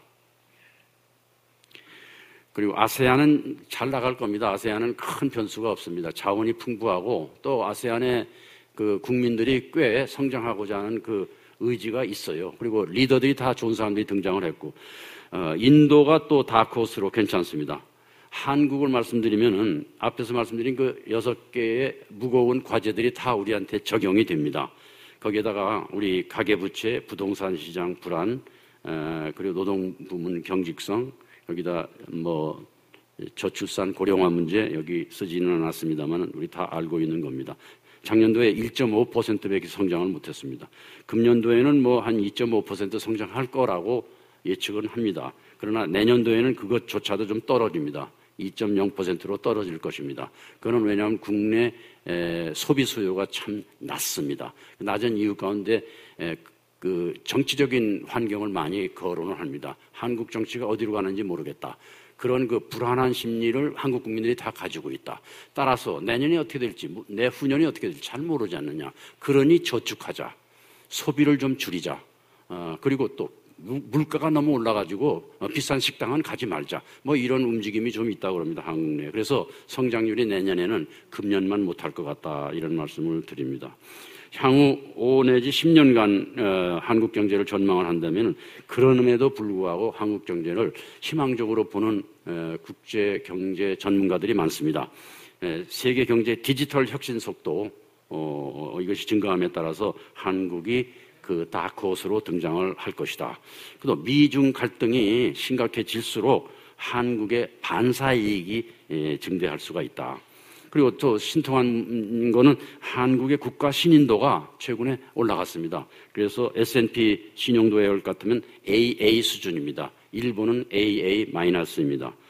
그래서 한국의 GPS, 이른바 global pivotal state, 어, 세계를 리드하는 국가들 중에 하나로 등장할 가능성이 매우 큰 나라가 한국이다. 그래서 5 내지 10년을 내다본다면 어, 오히려 한국 경제 전망은 그런 대로 괜찮지 않겠나 이렇게 생각합니다. 단기 전망, 장기 전망은 이미 다 말씀을 드린 것 같아서 이제 결론을 말씀드린 변혁과 어, 불확실성이 전례 없이 큰, 클 그 향후 5 내지 10년 동안 세계 경제는 산업 구조상, 정책 수단상, 대외 정책상 많은 변화를 겪을 것이며 신자유주의 추세를 벗어나서 자국 중심의 보호주의, 각자 도생의 국제 질서가 생성될 수 있을 것이며 새로운 자본주의가 따라서 등장하려고 할 것이다. 세계 경제 전반의 성장은 어, 지금 현재 상태에서는 어, 앞으로 크게 둔화될 것으로 전망이 된다. 그래서 밝은 소식은 아닙니다. 좀 어두운 소식을 결론으로 전해드리면서 이상으로 발표를 마치겠습니다. 대단히 감사합니다. 이어서 지정 토론 시간을 갖겠습니다.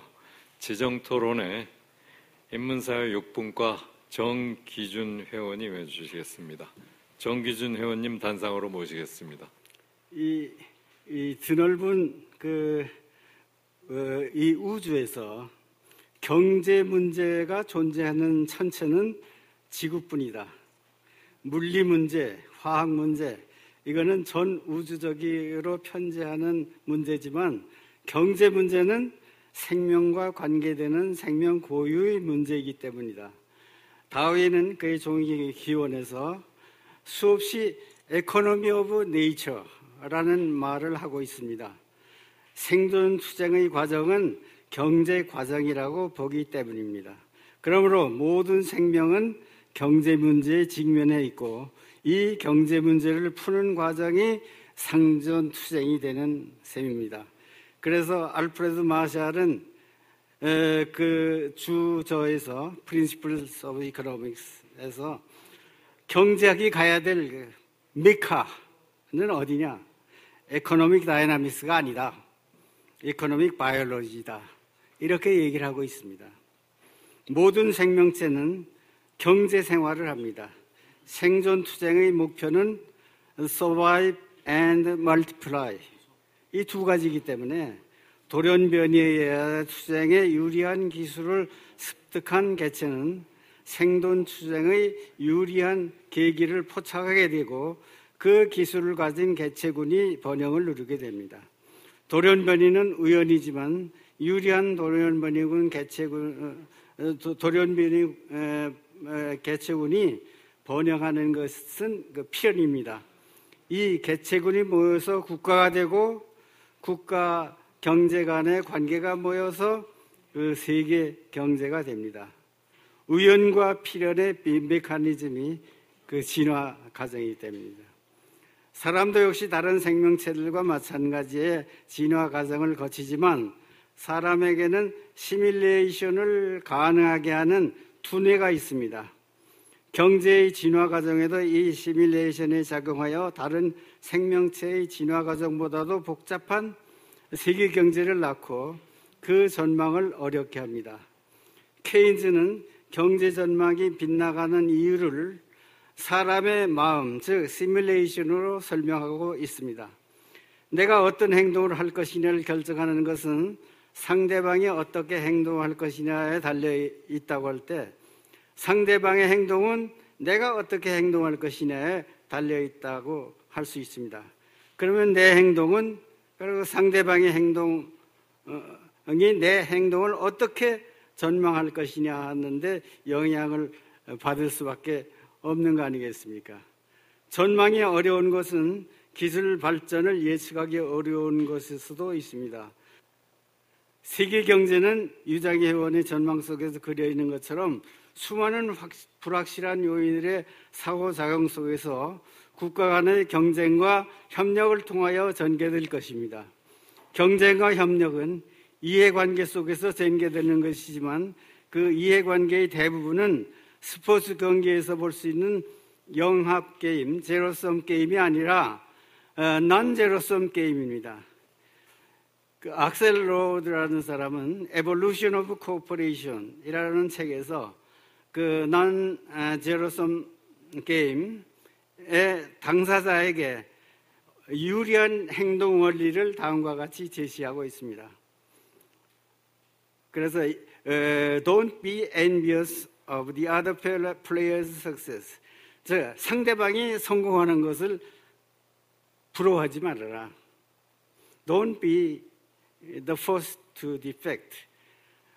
내가 먼저 상대방의 배신을 하거나 나쁜 짓을 하지 말아라.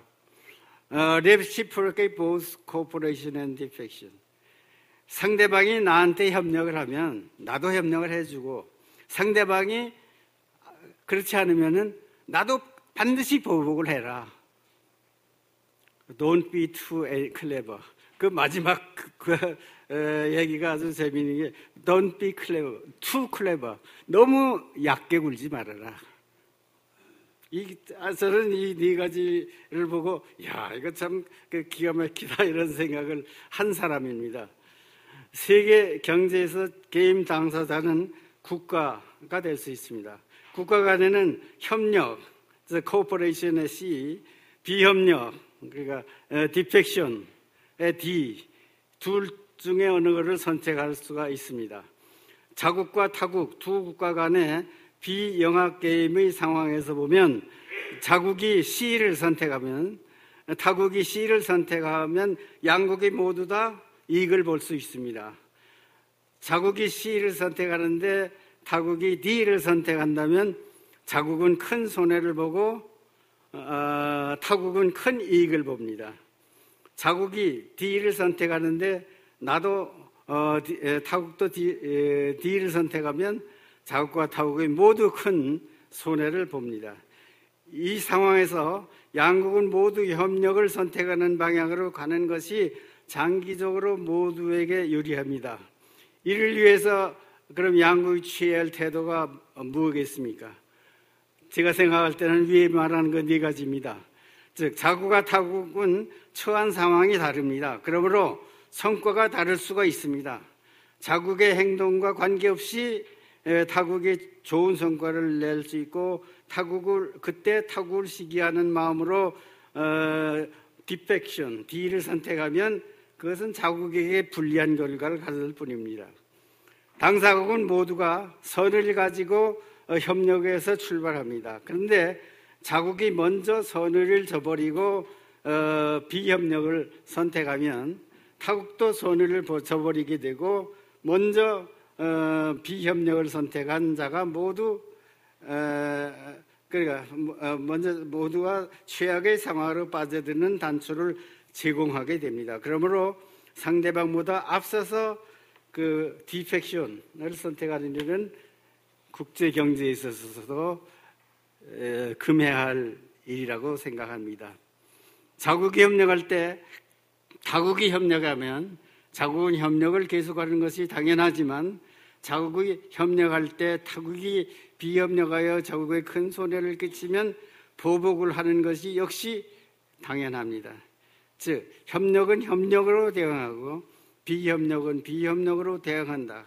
그러나 이 상호주의 전략은 상대방이 비협력의 잘못을 뉘우치고 협력으로 돌아왔을 때 이를 협력으로 받아준다는 용서의 의미도 포함되어 있습니다.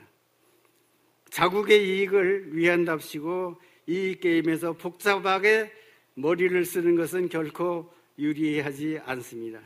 자국의 의도를 알기 쉽게 표출하여 상대방의 의욕을 사지 않는 것이 타국의 자국 어, 지속적인 협력을 유도하는 길이 아닐까 생각합니다. 세계 경제는 전망하기도 어렵지만 좋은 기회가 왔을 때 이를 포착하는 일이 중요하고 좋지 않은 상황에서 이를 회피하는 것이 어, 중요합니다. 이를 위해서 타국과 관계를 협력의 상황으로 유지하는 것이 무엇보다도 어, 중요하겠습니다. 이것과 뭐 관련해서 아까 그 앞에서 발표하신 분에서 정말 AI의 발전 이게 참 우리가 볼 때 눈부신 발전이 이루어져서 정말 우리가 도저히 따라갈 수가 없는 어, 상황인데 그런데 중요한 것은 그 이도리 선생님이 말씀하신 그 지식과 그 지혜 이걸 구별하는 것이 그 중요하다고 생각합니다. 그래서 그 지, 지식은 AI가 늘려줄 수가 있지만 인포메이 그러나 지혜를 늘려주지는 않는다고 생각합니다. 그 지혜는 그래서 아까 발표자께서 어, 어, 에드와드 윌슨의 Consilience를 말씀하셨어요. 그, Consilience. 근데 거기에서 paucity of wisdom 이라는 말에는 아주 그 정말 그 실감 있게 들었습니다. 즉 우리는 drowning in information 정보의 물에 빠져들 만큼 정보가 넘쳐나지만 그러나 우리가 부족한 게 바로 위즈덤이다.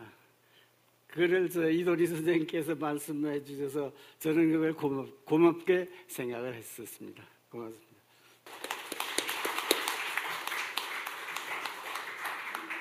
정기준 회원님 수고하셨습니다. 그 사이 그 틈에 또 발표 주제 발표 이래 청중 질문 역할까지 청중 코멘트 역할까지 해주셨습니다.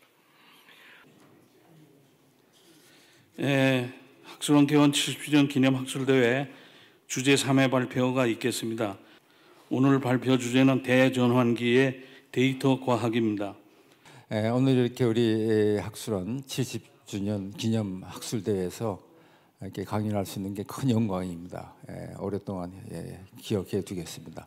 특히 그 오늘 제 주제가 대전환기의 그 데이터 과학 그렇게 돼 있는데 예, 먼저 그 데이터 과학 예, 이거를 이제 data science라고 말하기도 합니다. 예, 우리 서울대학교에는 2020년도에 data science 대학원이라는 것이 생겼습니다. 그래서 서울대학교는 이것을 data science라고 부르는데 지금 대부분의 대학에 데이터 과학과라는 게 생겼습니다. 학부에. 에, 그래서 거기는 이제 음, 데이터 과학과라고 불러요. 그러니까 이름이 이제 약간 혼용이 됩니다만은 에, 그리고 이 대학원에도 이제 그 데이터 과학 대학원 또는 data science 대학원이 생긴 대학도 있고요. 에, 어떤 분들은 요새 인공지능이 더 인기 있으니까 인공지능 대학원 이렇게 부르는 데 부르는 데도 있습니다. 그렇지만 데이터 과학이나 인공지능이나 사실은 그게 다 비슷한 겁니다. 예, 이름을 그렇게 부르는 것 뿐이지 그 어, 인공지능도 그 밑바닥에 있는 학문은 데이터 과학이에요. 왜냐하면 에, 데이터에 대한 심층 분석이 없이는 인공지능이 불가능합니다. 사실은. 그러니까 이 데이터 과학이라는 뿌리가 없으면 인공지능이 발전할 수가 없어요. 에, 그래서 이 데이터 과학이라는 게 인공지능 시대에 아주 기초 학문으로서 굉장히 중요하게 지금 떠오르고 있다. 이렇게 제가 에, 말씀을 드리겠습니다. 이게 뭐 정의인데요. 예, 뭐 앞, 앞부분이니까 제가 한번 읽어보겠습니다. 데이터 과학은 데이터의 수집과 저장에 필요한 data processing 기술과 데이터 분석에 관한 에, 지식을 기반으로 다량의 데이터로부터 패턴을 찾아내고 통계적 추정, 예측 모델링 등을 통해서 필요한 정보를 창출하고 이를 실제로 활용하는 다학제간 융합과학이다. 이렇게 이제 예, 정의를 할 수 있습니다. 정의가 좀 길죠? 이걸 예, 좀더 그림으로 간단하게 나타내 보면 이 그림 전체는 예, 한국과학기술한림원에서 어, 만든 그림입니다. 몇 년 전에 연구팀이 만든 그림인데요. 여기 이제 보면 데이터 과학이라는 것을 이건 큰 의미의 데이터 과학입니다. data science는 기존에 수학이나 통계학이나 아, 데이터 분석학이나 뭐 비즈니스 정보학이나 예, 또는 computer science 그, 이런 것들이 합쳐져서 만든 다학제간 융합 학문이다. 이렇게 정의를 할 수가 있습니다. 그리고 가장 기본적으로는 데이터로부터 데이터가 없으면 아무것도 안 되는 거예요. 데이터로부터 각종 과정을 거쳐 가지고 통찰력을 얻어내는 그런 학문이다. 그리고 이 데이터 과학의 열매는 빅데이터와 인공지능이다. 이렇게 말할 수 있습니다. 그리고 이 빅데이터와 인공지능은 사실은 인간을 위해서 인간과 상호작용하면서 만들어지는 결과물이다. 그러니까 저는 이게 인공지능이라는 게 사실은 데이터 과학의 한 결과물이라고 저는 생각, 생각을 합니다. 에, 뭐 지금 이제 인공지능이라는 말이 너무 뜨기 때문에 많은 대학에서 인공지능 대학원, 인공지능 학과를 또 많이 만들어요. 그렇지만 에, 데이터 과학과나 인공지능 인공지능 학과나 강의하는 내용은 거의 비슷해요. 주로 강의 강의 내용은 에, computer science에 관한 것, 통계학에 관한 것, 약간의 그 어, 데이터를 다루는 비즈니스 측면의 경영학 그런 것들을 섞어서 강의하는 것이 예, 이제 데이터 과학의 본질이다. 이제 그렇게 말씀을 드립니다. 그러면 데이터 과학이라는 게 이게 어떻게 발전돼 왔느냐? 그 뿌리를 좀 간단히 살펴보면요. 원래가 그 1970년대 존 투키라고 하는 그 유명한 통계학자가 exploratory data analysis, 그러니까 탐색적 데이터 분석이라는 이런 학문의 분야를 만들었어요. 그 전에는 주로 이제 그 어, 수학에 기초한 에, 뭐야 이론적인 수리 통계를 많이 연구했지만 이때부터 데이터를 어떻게 분석할 것이냐 하는 것에 눈을 돌리기 시작했습니다. 그게 사실은 컴퓨터의 발전과 깊은 관계가 있습니다. 에, 컴퓨터가 세상에 등장한 것이 1946년도부터인데 에, 초기에는 너무나 그 어, bulky하고 에, 분석이 잘 안 됐어요. 데이터를 크게 못 다뤘는데 점점 점점 컴퓨터가 발전하면서 이제 다량의 데이터를 분석할 수가 있기 때문에 이 탐색적 데이터 분석이 가능해졌습니다. 그러니까 이게 지금 저는 그 어, 오늘날의 데이터 과학의 뿌리라고 보여지고요. 그 이후에 이제 80년대에 database management로 해가지고 이제 computer science 다루는 데이터베이스 오늘 안 나오신 것 같은데 황규영 교수님이 이 데이터베이스 쪽을 많이 하시는데 이 발전이 또한 그 어, data science에 큰 도움을 줬습니다. 그리고 90년대에 와서 이제 data mining, 뭐 knowledge discovery, database 이런 것들이 이제 발전해가면서 통계학과 전산과학이 이렇게 합쳐지는 그런 패턴을 이제 예, 예, 예, 패턴이 나오기 시작했고 그 후에 처음으로 빅데이터라는 용어를 사용한 것은 99년도에 예, 브라이슨이라는 사람이 big data for scientific visualization이라는 표현을 쓰면서 처음으로 빅데이터가 많이 나왔습니다. 에, 그, 그리고 이제 그 이후에 에, 경영학에서 에, 이걸 많이 도입을 하고 또 에, 바이오 에, 정보 그러니까 bioinformatics 일종의 뭐 에, 생물 뭐 계량학적인 분석 에, 이런 데서 또 많이 쓰여지고 오늘날에 와서는 컴퓨터의 성능이 엄청 좋아지면서 대용량의 그 데이터를 다룰 수 있기 때문에 오늘날 이제 빅데이터가 엄청나게 발전하고 있다 이렇게 볼 수 있고 에, 그런 내용입니다. 에, 그래서 이것이 지금 이제 전반적으로 그 빅데이터의 그 분석의 흐름인데 에, 왜 제가 빅데이터를 먼저 얘기하냐면 이 데이터 과학의 가장 큰 결과물이 빅데이터 그리고 인공지능이에요. 그래서 이제 빅데이터를 먼저 지금 말씀을 예, 드리는 겁니다. 에, 그리고 그다음에 인공지능에 대해서 조금 말씀드리면 에, 이분이 아주 잘생긴 남자인데요. 이름이 알렌 튜링이라고 이분이 사실은 인공지능의 창시자라고 지금 얘기를 합니다. 상당히 오래된 인물인데요. 1950년에 영국의 수학자입니다. 이분이 원래는. 근데 이분이 그 논문에 Computing Machinery and Intelligence라고 하는 논문을 썼는데 이 논문에서 뭘 제기했냐면 Can machine think? 기계가 생각할 수 있는가? 이런 질문을 스스로 하고 스스로 답을 해가면서 논문을 썼어요. 그래서 이분을 이제 인공지능의 창시자다 이렇게 얘기를 지금 하고 있습니다. 근데 그분이 사실은 오래 살지 못했어요. 42세에 자살을 했습니다. 예, 자살 현장에서 청산가리에 중독된 반쯤 먹은 사과가 발견됐는데 예, 오늘날 그 애플의 로고가 그런 거 아닙니까? 애플 한쪽에 사과가 베이지 있잖아요. 그래서 예, 애플의 로고가 사실은 이 튜어링의 한입 빼어 먹은 사과를 기념한다고 그렇게 얘기들을 이제 하고 있습니다.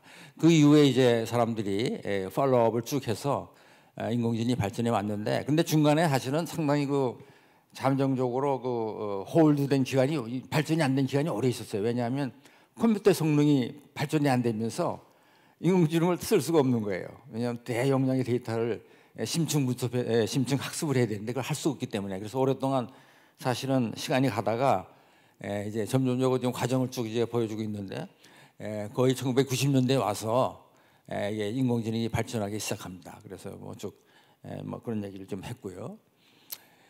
그러면 우리나라에는 지금 데이터 과학 또는 data science 또는 뭐 인공지능 이 교육이 어느 정도 진행되고 있느냐?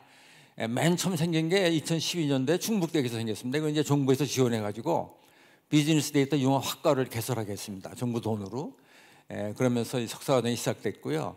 서울대학교는 2020년에 data science 대학원이 생겼고, 그 같은 해에 8개 대학, 카이스트, 고대, 성대, 지스트, 포스텍, 연대, 한, 한양대, 유니스트 여기에 AI 대학원이 설립이 됐어요. 그러면서 그 이후에 엄청나게 많은 대학에서 AI나 데 이터 과학과를 만들었습니다. 그리고 여기 현재 보면 이 대학원 과정에 데이터 과학과 가진 대학이 19개 대학, AI를 가진 대학이 21개 대학, 학사 과정에는 데이터 과학이 31개 대학, AI 학과가 148개 대학. 이게 사실은 굉장히 많은 숫자입니다. 이 AI 학과가 학사 과정 개설에 148개라는 것은 거의 주요 대학에 다 있다는 겁니다.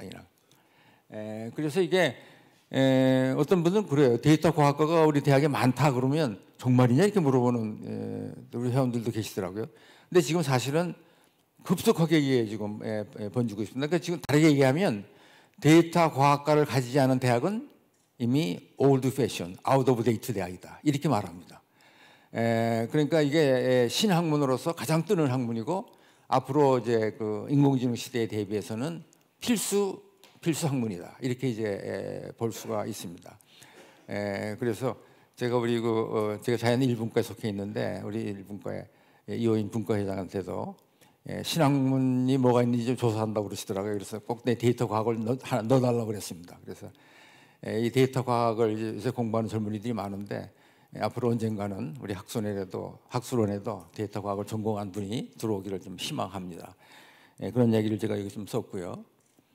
에, 이거 중요성에 대해서는 뭐 제가 얘기하지 않겠습니다. 우리가 이 시대를 보통 우리가 한마디로 그냥 데이터 AI 경제 시대 이렇게도 얘기합니다. 이게 에, 그래서 요거 지금 문장이 그대로 뜻하는 것처럼 데이터를 적게 가진 나라는 절대 강국이 될 수 없어요. 지금 미국이 세계 최대 강국이라고 얘기하는데 왜 그러냐? 가장 데이터를 많이 가지고 있어요, 미국이. 그러니까 여러분 그 챗 GPT 써봐요. 한국에 대해서 물어봐도 챗 GPT에서 답을 다 합니다. 한국에 대한 데이터를 다 가지고 있다는 얘기예요. 예? 대단한 거죠. 지금 미중 패권 전쟁에 대해서 우리 유장희 선생님 말씀하셨습니다만은 저는 미국과 중국이 그렇게 싸우는 것이 누가 더 데이터를 많이 확보하느냐 그 전쟁인 것 같아요. 제가 보기에는. 그러니까 미국에서 그 중국의 화웨이 장비를 못 쓰게 하잖아요. 지금 왜 그러냐? 이유는 화웨이 장비를 통해서 데이터가 중국으로 갈 수 있거든요. 미국 미국 데이터들이 그래서 막는 거예요. 저는 그런 시각으로 봅니다. 그래서 이게 이 데이터 그 경제 시대가 지금은 도래했고 에, 데이터를 얼마큼 많이 확보하느냐 하는 것이 그 나라가 얼마큼 강국이냐 하는 걸 말해주고 또 인공지능 시대이기 때문에 인공지능에서 얼마큼 앞서가느냐 그 나라가 그게 또 그 나라가 얼마나 선진국이냐 하는 것을 말해준다 그렇게 얘기하고요. 저는 데이터 AI 경제 시대 때 가장 중요한 학문은 데이터 과학이다. 저는 이렇게 제가 에, 네, 단정하고 싶습니다. 뭐 여러분 동의할지 안 할지 모르겠습니다. 저는 그렇게 생각을 합니다. 에, 예, 자, 그 다음에 데이터 산업에 대해서 간단하게 이제 말씀을 드리겠습니다. 왜냐하면 데이터 과학은 학문이고요. 이 학문을 활용해서 어떻게 사회에 기여하느냐 하는 것은 데이터 산업이라고 볼 수 있습니다. 에, 예, 뭐 인공지능은 인공지능 산업이 있고, 뭐 이제 기계공학은 기계공학 산업이 있고 다 그렇잖아요. 그래서 데이터 산업에 대해서 좀 간단히 말씀을 드리면 에, 예, 이것도 정의입니다. 데이터 산업의 정의인데 데이터의 생산, 수집, 처리, 분석, 유통, 활용 등을 통해 가치를 창출하는 상품과 서비스를 생산, 제공하는 산업 이렇게 공식적으로 정의되어 있고요. 데이터 산업의 대분류가 이렇게 세 가지로 나와 있습니다. 데이터 처리 및 관리 솔루션 개발 공급, 데이터 구축 및 컨설팅 서비스업, 데이터 판매 및 제공 서비스업 이렇게 되어 있는데 사실은 이 데이터 산업이 우리나라는 많이 뒤져 있습니다. 뒤져 있어요. 그러니까 아직까지 우리나라의 그 산업 속성이 하드웨어적인 눈에 보이는 이런 산업을 주로 치중해 왔거든요. 그러니까 전자공학, 기계공학, 석유화학공학, 뭐 자동차 뭐 이런 것들로. 그러니까 이거는 데이터 산업은 눈에 안 보입니다. 이게 소프트웨어 산업이 눈에 안 보이듯이. 그 이쪽 분야는 상당히 우리나라가 그동안에 서울에 온 게 사실입니다. 그렇지만 최근에 와서 그 신장이 굉장히 빠릅니다. 데이터 산업의 신장이 여기 보면 2022년도에 우리나라의 시장 규모가 한 25조쯤 되고 매년 한 10% 이상 성장합니다. 그 지금 지금 성장이 굉장히 빠르다 하는 말씀을 좀 제가 드립니다. 그런데 데이터 산업 그러면 하나 헷갈리는 게 있는데 많은 사람들이 소프트웨어 산업도 데이터 산업이냐? 그렇지는 않습니다. 여기 보면 그거는 데이터 관련 산업이라고 불러요. 이 소프트웨어 산업, 컴퓨터 프로그래밍 산업, 정보 서비스업. 근데 이 분야가 더 큽니다. 이 분야는 한 106조 원 정도 시장인데 에, 이제 어떤 분들은 우리 에, 좁은 의미의 데이터 산업과 에, 넓은 의미의 데이터 산업으로 나누는데 이 소프트웨어 개발, 컴퓨터 프로그래밍, 정보 서비스까지 다 합쳐서 광의의 데이터 산업을 정의한다면 넓은 의미의 데이터 정의한다면 여기 밑에 있습니다만은 우리나라 아, 에, 총 시장 규모가 한 106조 원쯤 이렇게 되는 아, 요게 요게 이제 데이터 산업과 데이터 산업 관련 업종을 합친 겁니다. 근데 우리나라의 전 산업의 시장 규모가 한 4,116조 정도 되거든요. 그 현재는 한 2.56%밖에 안 돼요. 광의의 데이터 산업이. 그렇지만 매년 그 성장 속도가 엄청 빠르기 때문에 앞으로 조만간에 뭐 한 5, 6%까지는 갈 수 있을 것 같고 또 제 생각에는 2030년이 넘어가면 이 광의의 데이터 산업이 우리나라의 주력 산업이 될 겁니다. 또 주력 산업이 되지 않으면 나라의 발전을 장담할 수가 없어요. 예, 그러니까 이쪽에 데이터 관련 산업이 더 커야만 우리나라 선진국이 될 수 있습니다. 또 우리나라가 세계를 선도하는 국가가 될 수 있어요. 예, 그런 말씀을 제가 좀 예, 드립니다. 이거는 데이터 산업의 인력인데요. 어, 2022년 통계밖에 안 나와 있는데 한 40만 정도 종사를 하고 직무 인력은 순수하게 이제 데이터 산업에 관계한 사람이고 요, 요거는 이제 도와주는 사람들입니다. 그래서 계속 그 증가 속도가 굉장히 빠릅니다. 지금 매년 이렇게 보면 예, 그런 말씀을 좀 드리고 요거는 그런데 이게 에, 데이터 과학이라는 교육을 과거에 우리나라가 안 했기 때문에 인력이 많이 부족해요. 이, 이 분야에. 그래서 요거는 이제 그 데이터 산업에 에, 근무하는 에, 종사자들이 자, 스스로 평가한 건데 여기 보면 여기에 부족한 이유를 자기네 회사에서 부족한 사람들인데 가장 많이 부족한 게 31%가 여기 데이터 과학자 data scientist가 너무 부족하다. 아, 뭐 그리고 요 그 그 외에도 많이 있습니다만은 그래서 이런 그 부족 인력을 빨리 채워주는 게 대학에서 할 일이에요.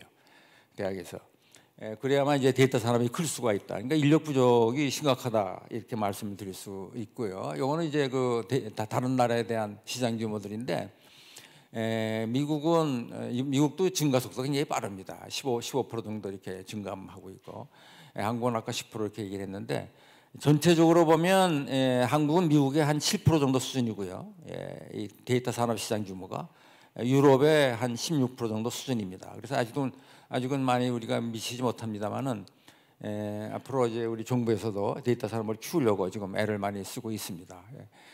예, 이거는 이제 빅데이터 도입률, 예, 우리 산업들이 빅데이터 도입률이 많이 늦습니다. 지금 한 18% 정도밖에 안 되고 예, 공공기업은 뭐 그래도 도입을 많이 했습니다. 공공기업은 56% 정도. 그래서 예, 국내 기업의 빅데이터 도입이 너무 늦다.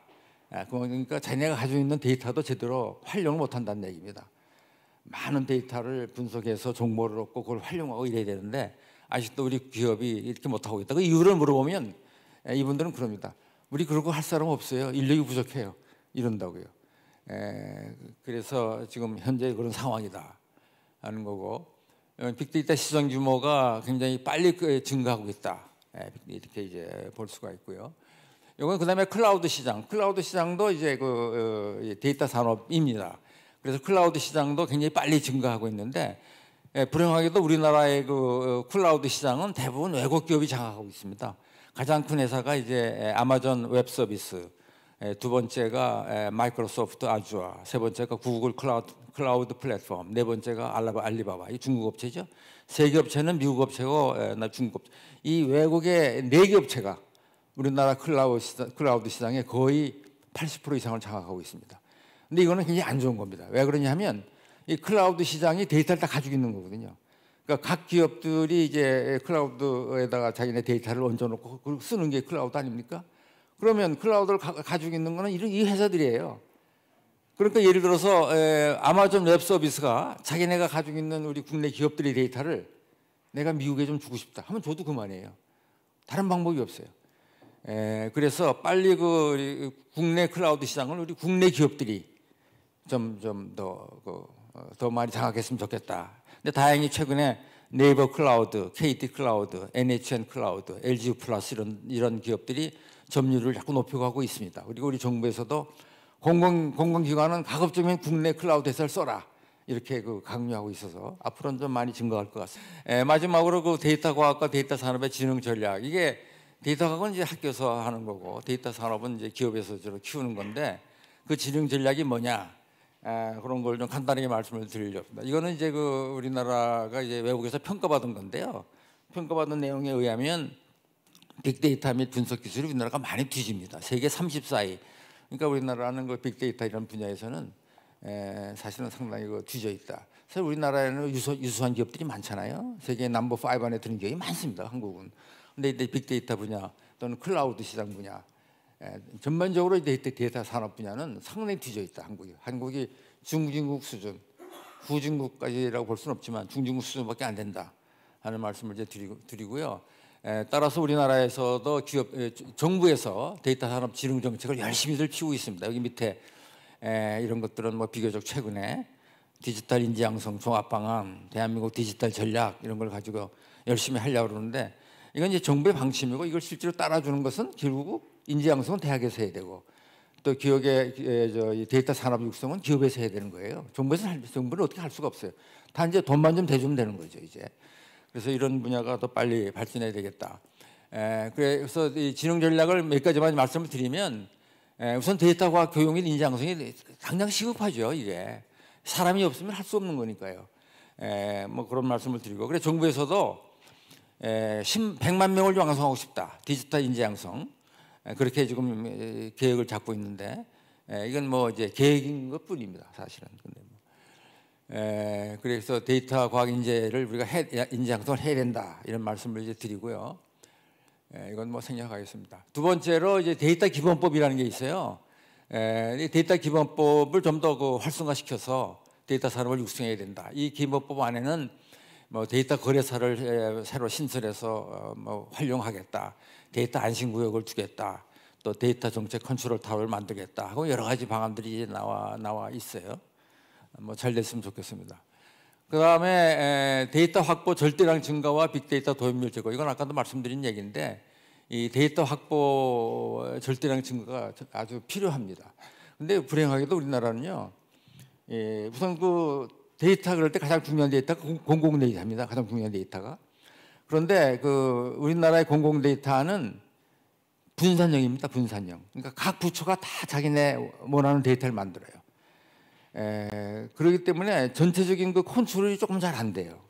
그게 우리 그 우리나라의 그 저 공공 공공 데이터의 약점이라고 볼 수가 있어요. 그래서 이 데이터의 중요성을 정부가 더 인식을 하고 이 각 각 부처에서 만드는 많은 양의 데이터를 어떻게 잘 요거를 수합해서 서로 통용할 수 있고 표준화 표준화해서 누구든지 쓸 수 있게 하고 이런 노력이 필요하다 하는 말씀을 제가 드리고요. 그리고 물론 빅데이터는 더 많이 도입을 해야겠다. 뭐 이런 말, 말씀을 드리고 네 번째로 클라우드 시장 국내 기업 점유율을 또 제고할 필요가 있다. 그래서 이 시장도 상당히 큽니다. 사실은 클라우드 시장 보면 에, 거의 4조 원이 이제 넘어가는데 에, 이것도 큰 이제 비즈니스가 되기 때문에 아마 앞으로 클라우드 쪽에도 우리 기업들이 진출하려고 애를 많이 쓸 거로 생각을 합니다. 이것도 뭐 생략하겠습니다. 다섯 번째로 의료 부분 데이터 관련 극대화. 지금 데이터 중에서 가장 그 양이 많고 활용하기가 좋은 데가 의료 부분입니다. 특히 우리나라는요 굉장히 양호한 의료 데이터를 가지고 있어요. 우리나라는 그 건강보험 제도가 너무 잘 돼 있기 때문에 우리나라 국민 5천만에 대한 대부분의 의료 데이터를 가지고 있어요. 국민 건강보험공단에서. 근데 그 데이터를 빅데이터죠. 5천만에 대한 데이터니까. 그걸 각 사람에 대해서 가지고 있는 그, 그 데이터의 항목이 얼마나, 얼마나 많습니까? 수십 가지가 넘죠. 그래서 이거를 정말 잘 활용하면 정말 좋은 그런 의료 정책을 쓸 수가 있는데 에, 그래서 이 의료 부분의 데이터 활용 극대화, 의료 부분의 그 빅데이터 활용, 아, 디지털 헬스케어도 중요한 거죠. 그래서 이런 것을 좀 우리가 장려할 필요가 있다 이런 말씀을 드리고요. 에, 여섯 번째로 어, 데이터의 품질 관리 및 표준화 제고 이게 사실은 필요합니다. 지금 각 부처에서 데이터를 다 만들기 때문에 어, 간혹 가다가 서로 호환성이 없어요. 호환성이 포맷이 막 다르기 때문에 그래서 이 표준화가 굉장히 필요하고 또 그 데이터 자체가 품질이 좋아야 돼요. 예, 통계에서는 이런 말을 합니다. garbage 데이터 그러니까 garbage 같은 쓰레기 같은 데이터가 들어가면 쓰레기 같은 정보가 나온다. 이런 표현을 합니다. 그래서 데이터 자체가 우선 그 양도 많아야 되지만 질도 좋아야겠다. 그리고 표준화가 잘 돼야 된다. 그래서 이 노력들을 이제 많이 해야 된다고 생각을 합니다. 사실은 뭐 지나간 얘기입니다만은 통계청에서 이 데이터 품질 관리를 처음에 하겠다고 할 때 그 2020년 2000 2000년도인데 벌써 20년이 지났네요. 그럴 때 어떻게 그 어, 데이터에 대한 품질 관리 했으면 좋겠, 느냐 하는 매뉴얼을 제가 한번 만들어 준 적이 있습니다. 그래서 여기 그 내용을 좀 적었고요. 그리고 마지막으로 여기 마지막입니다. 그 데이터 과학을 좀 더 진흥시키고 데이터 산업을 키우려면 에, 우리가 데이터 과학의 글로벌화 전략을 써야 된다. 에, 글로벌 글로벌화 전략 중에서는 데이터 과학과 인공지능 국제협력센터를 우리가 만들자. 이건 정부에서 좀 돈을 들여가지고 그래서 국제협력센터에다가 외국의 데이터 과학자, 인공지능 전문가들을 다 초빙해서 자꾸 우리 국내 학자들과 교류하게 하고 산업하고도 서로 연결을 짓게 하자 하는 것이 이 뜻이고요. 에, 두 번째로 클라우드 시장 점유율 확대가 아까 말씀드린 얘기고 그다음에 세 번째로 데이터 인공지능 연구원을 설립하자. 지금 우리나라에는 그 출연 연구소가 25개 있습니다. 지금 에, 많죠. 에, 지금 뭐 예를 들어서 뭐 어? 에, 뭐 음, 에, 항공우주연구원 또 한의학 연구원 이런 연구원 많잖아요. 근데 데이터 인공지능 연구원이 아직 없어요. 그래서 이것을 만들어서 많은 인재들을 거다 놓고 집중적으로 좀 연구할 필요가 있다. 그 말씀을 제가 제안을 좀 했습니다. 그리고 이제 이건 뭐, 뭐 이제 다 돼서 이제 어, 뭐 제가 이, 이, 이, 이 피터 드라카 그 잠깐 이자 교수님 말씀하셨습니다. 이 피터 드라카 교수가 경영학자로서는 석학이 최고 석학이고 창시자라고도 볼 수 있는 분인데 저는 이분이 말씀하신 미래를 가장 확실히 예측하는 길은 이를 스스로 만들어내는 것이다. 이 말씀이 너무 좋아서 늘 이제 제가 이걸 제가 가끔 봅니다. 그래서 어, 지금 우리는 대전환기에 지금 대전환갑니다 확실히 대전환기에 놓여 있습니다. 이제 우리 국민 스스로가 힘을 합쳐 글로벌 리더 국가로 부상할 수 있다는 그런 소망을 가지고 정진한다면 정진해야 되죠. 정진한다면 그 꿈이 이루어질 것입니다. 예, 경청해 주셔서 감사합니다. 예. 예. 박상현 회원님 수고하셨습니다. 이어서 제1분과 김도환 회원님의 토론이 있겠습니다. 박사님 쌤이 고마운 게 항상 수학의 중요성을 수학 교육의 중요성을 지금 저 말씀하시고 있습니다. 그래서 저는 그 오늘은 아, 저이 다양한 저술의 결과를 활용해서 그 이 여러 가지 데이터 과학의 역사 뭐 이 산업 경제 정책까지 다 다루셨는데요. 저는 그 두 가지만 다루겠습니다. 그러니까 데이터 과학에서 그러니까 수학 저 수학 교육이 굉장히 중요한데 우리나라가 수학 교육이 좀 엉망으로 돼 가고 있습니다. 그래서 이거를 좀 말씀드리려고 합니다. 그러니까 박 선생님은 이 저 데이터 교육, 과학 교육하고 AI 교육이 제대로 이루어지려면 중고 저 초중고등학교에서 이 그 정보 교육, 과학 교육까지 잘 수학 및 잘 이루어지는 것이 필요하다고 강조하시는데요, 항상요. 근데 토론자는 이에 전적으로 동의하며 저 수학과 관련된 교육과 그 발표자가 강조하는 국제화가 제가 그 저 일본에서 열린 정보과학 컨퍼런스에 갔더니 너무나 중요했어요. 그거에 가서만 간단히 말씀드리겠습니다. 그러니까 2016년에 그러니까 2세돌 구단과 구글 인공지능 알파고가 이제 세계 바둑 대결을 벌였는데 이때 그 사람들이 많은 인상을 받았는데 이때 한국에서 이걸 좀 더 이용했으면 좋았을 텐데 이용을 못한 게 좀 한스럽습니다. 근데 이때 그 2016년에 국제 심포지움에 저 토마스 포지오라고 저 뇌과학자가 기조연설을 했습니다. 이때 그 AI 분야, 특히 사물을 인식하는 인지 컴퓨팅의 수학 교육의 중요성을 강조하고 수학은 과학과 그 computer science 모두 통용되는 보편적인 언어라 소프트웨어를 만드는 근간이 된 수학 분야의 교육을 더 강화해야지 된다 이렇게 얘기했습니다. 그러니까 소프트웨어를 만들 때도 이 수학이 그 중요하니까 논리 교육이 근데 그 당시에 그 이게 굉장히 중요하지만 그때 저 의무 교육까지 되는 것에 대해서 일부 우려를 표하면서 소프트웨어는 엔지니어들의 언어이기 때문에 지속적으로 변하기 때문에 수학의 논리는 안 변하니까 그러니까 너무 빠지는 건 위험하고 기, 기 본적인 교육도 중요하다 이거를 강조했습니다. 그리고 또이 그 컴퓨터 과학자가 이 그 AI는 강한 수학적 기초가 중요하다는 서명 운동을 시작했는데 이 오픈 AI의 샘 울트만이 바로 그 챗 GPT 만든 사람이고 그러니까 뭐 많은 사람들이 여기에 동참하고 있는데요. 닐슨 교수는 쉬운 수학 교육에는 문제가 있다고 하면서 엄격한 방식의 수학 교육 강화를 주장했습니다. 그리고 AI의 그 힌튼이라고 처음 심층 저 deep learning을 저 도입한 사람이 deep, 거기에서 제일 주, 저 중요했던 게 뭐냐면 선형대수, 미적분, 확률, 통계 같은 수학이 저 중요하기 때문에 기술 개발에 참여하기 위해서는 보다 강력한 수학적 기반이 필요하다고 강조했습니다. 그래서 고리타분해 보이는 수학 공식 같은 게 삼각함수, 피타고라스 정리는 구식이 아니라 후리의 변환과 그저 최소 제곱 알고리즘을 포함한 데이터 과학과 AI에서 중요한 기반이 되는 수학적 그 개념이라고 강조했고 그래서 이 이거를 굉장히 최선의 준비를 해야지 된다 이렇게 얘기했습니다. 근데 우리나라 수학 교육의 현황은 암담합니다. 그러니까 교육부와 일부 학부모 시민단체들의 포퓰리즘에 영향, 저, 영합해서 사교육을 억제한다는 미명하에 무조건 쉬운 수학만을 부르짖습니다. 기하는 유클리드 이후 논리교육에 제일 중요하고 미적분은 과학, 특히 물리교육에까지 중요함에도 불구하고 2028년부터는 미적분 이와 기하를 제외한다고 결정을 했습니다. 그러니까 그 유럽에서도 제일 논리교육으로 중요한 게 유클리드 저 기하학 원론을 공부한 거였는데 그래서 제가 말을 하나 생각했습니다. 수학교육에서 쉬운 거 쉬운 것만 강조하는 것은 피아노를 배울 때 쇼팽 리스트 곡이 어렵다고 줄창 바이엘 체르니만 치게 시키는 거하고 똑같다고 생각합니다. 정말 무, 문제입니다. 그리고 여기 물리학자 두세 분이 계신데 물리는 더 처참합니다. 그러니까 여학생들이 600명이면 한 학년에 물리 2를 택하는 학생이 5%도 안 됩니다. 그러면 이게 30명도 안 되는데 30명이 안 되면 한 반이 안 됩니다. 그러니까 물리는 그냥 고등학교 교육에서 잘못하면 없어질 수밖에 없습니다.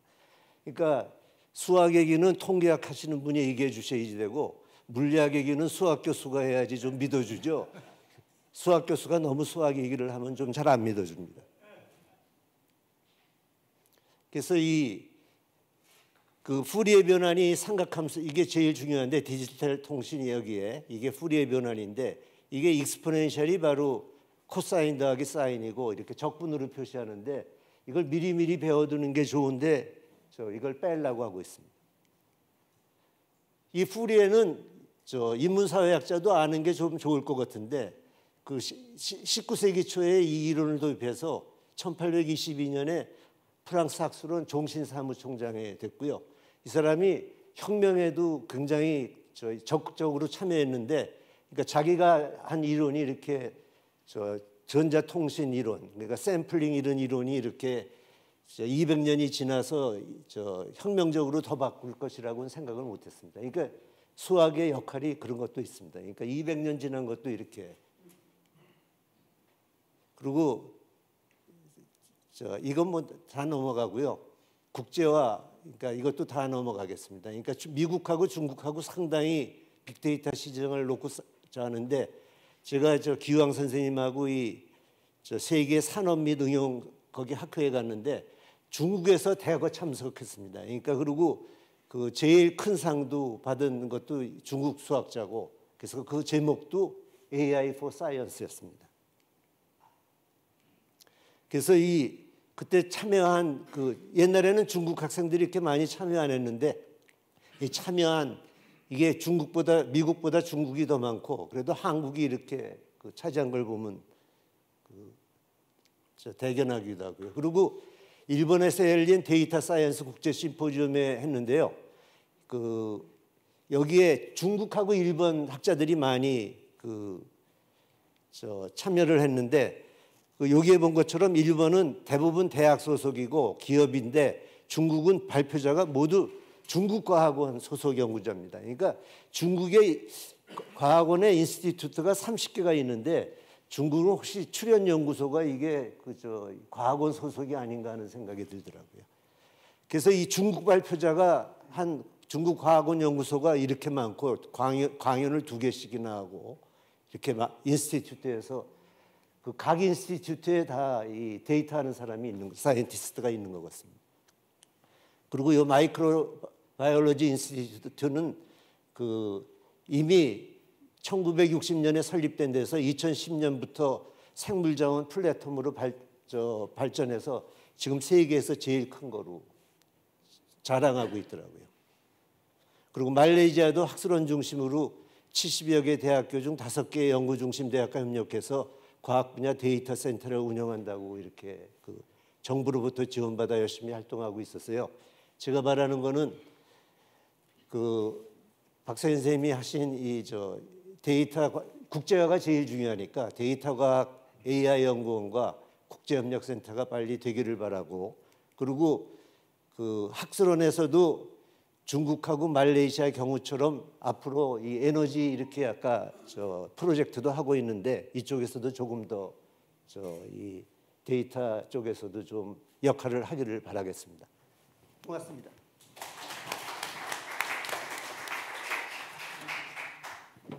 학술원 개원 70주년 기념 학술대회 주제 4의 발표가 있겠습니다. 박승우 회원님은 서울대학교 농과대학 농공학과를 나오시고 미국 University of Illinois에서 농공학으로 PhD, PhD를 받으셨습니다. 오늘 발표 주제는 기후 변화와 농업입니다. 박승우 회원님 단상으로 모시겠습니다. 아, 우선 그 몇 가지 용어에 대해서는 그 또 여기 반쯤 또 잘 모르시니까 모르신다고 가정을 하고 몇 가지 몇 가지 용어를 정의를 해보, 해보겠습니다. 아, 기상 관측은 우리나라에서는 1904년부터 시작을 했습니다. 이때 부산, 인천, 목포 이렇게 1907년에 서울, 대구 그, 10, 그 11년에 강릉이 개시됩니다. 그래서 대략 우리나라 그 기준해 가지고 1912년 정도 되면은 어느 정도 데이터가 구축이 됩니다. 시작을 했다는 얘기죠. 그래서 1970년 초에 전국적인 관측이 시작이 됐고 이제 최근에는 이제 여러 군데서 하고 그 데이터를 수집하기 쉬우니까 이제 96개 지점까지 확대 관측을 하고 있습니다. 우리가 기후 변화라는 얘기는 무슨 얘기냐면 자연적인 기후 변동 범위를 벗어나 가지고 더 이상 평균적인 상태로 돌아오지 않을 때 그걸 우리가 기후가 변화됐다 그렇게 얘기를 하고 기온은 일평균 기온을 어떻게 재냐? 평균이 어떻게 정의를 하냐 하면 최고 기온하고 최저 기온을 재, 그 재가지고 그것을 평균을 냅니다. 그렇게 해서 계산을 하죠.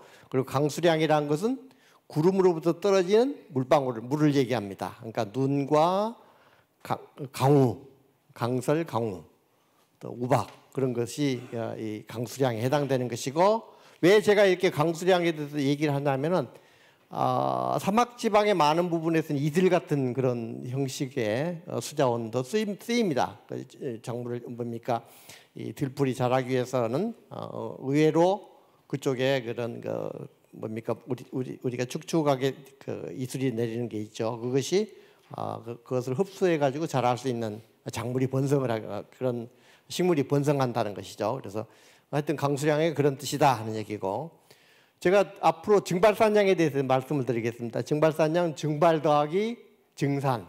증산은 무엇인지 아시죠? 식물 체내를 통과해 가지고 밖으로 나가는 것을 증산이라고 부릅니다. 그래서 두 개의 용어를 합해 가지고 evapotranspiration이라고 그럽니다. 그래서 저희가 이제부터 증발과 증발과 증산을 갖다가 더한다. 이 정도 아시면은 아마 지금부터 말씀하시는 내용을 이해하실 수 있으라고 생각합니다. 강릉, 서울, 대구, 부산 등의 그 아까 제가 말씀드린 여섯 개 지점의 강우량을 이제 그, 그, 그 전체적인 어떤 기상 자료를 갖다 분석을 했습니다. 이거 기상 연구소 자료인데 1912년부터 2017년까지 자료를 썼습니다. 근데 불행하게도 시계열에서 딱 시계열에서 딱 3년 그 우리 3년이 빠집니다. 다시 얘기해서 우리 해- 그 하- 한국 동란 때문에 자리가 빠져가지고 이게 아주 그 우리 우리 그 수문 그- 그러니까 다시 얘기해서 물을 다루는 사람들한테 통 물을 통계를 다루는 사람한테 가장 어려워하는 부분입니다. 어, 데이터 갭이 생겨버린 거죠. 그래서 이걸 이걸 없던 사람은 이거 붙여가지고 그냥 3년이 없는 걸로 치고 그냥 합해가지고 몇 년이다 그렇게 부르기도 하고 아, 무슨 얘기냐 그 3년이라는 큰 의미가 있다 미싱 데이터다 그렇게 처리해 보려고 노력을 하는데 대충 전자처럼 처리합니다. 다시 얘기해서 그냥 더해, 더해가지고 뭐 한 100년 뭐 그렇게 얘기를 한다는 거죠. 대략 우리나라의 그 최고 기온과 최저 기온 그 사이에 이제 그 평균치가 이렇게 된다 그랬죠. 아, 이렇게 되는데 현재 우리나라의 추세는 전, 전반적으로 최저 기온이 오릅니다. 그러니까 추운 그러니까 우리나라의 최저 기온이 최고 기온은 거의 뭐 변동이 별로 없죠. 근데 최저 기온 오르기 때문에 평균 기온이 오르고 있고 그래서 아, 최저 기온 약 2.4도 정도 100년 동안 올랐다. 그렇게 이해하시면 되겠죠. 그런데 이제 이게 그 기후 변화가 초기에 초기 때그 학계에서 상당한 많은 저항이 있었습니다. 그 저항 중에 한 개가 뭐냐면은 어, 서울 지방 서울 같은 기상 자료를 갖다 우리가 쓰게 되면은 기후 자료를 그 우리 뭡니까 기온 자료를 보면은 그 상당한 추세를 보이죠. 선형 추세가 뚜렷하고 뭐 또 알스키아 값도 대략 한 어, 죄송합니다.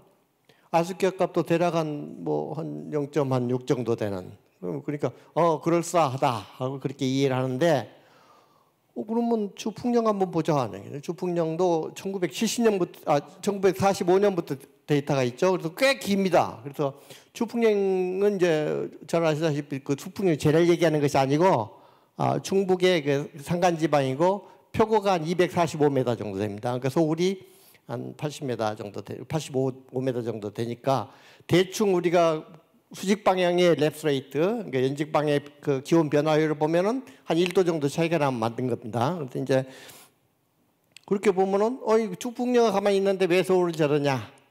이게 앞으로 우리가 우리나라 기후를 이해하는데 대단히 중요한 어, 그 힌트가 되, 되겠죠. 대부분 이렇습니다. 우리나라 기후는 이제 약간 고지대의 경우는 그 거의 지금 어, 소위 우리가 얘기하는 기후 변화라고 하는 것이 별로 그 잘 영향가가 없어 보이는 어, 그러시 특히 뭐 평창 그 정도 가면은 그건 말이 아니는 거죠. 왜냐하면 그, 그건 700m 정도 됩니다. 그렇기 때문에 아, 이렇게 이런 차이를 보인다 하는 것이죠.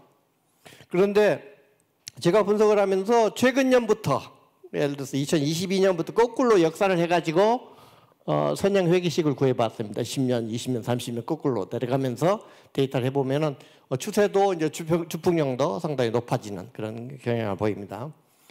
우리나라 연평균 강우량이 1237mm인데 아무도 안 믿습니다. 수문학자들은. 우리는 지금 한 1300mm 정도 보고 있습니다.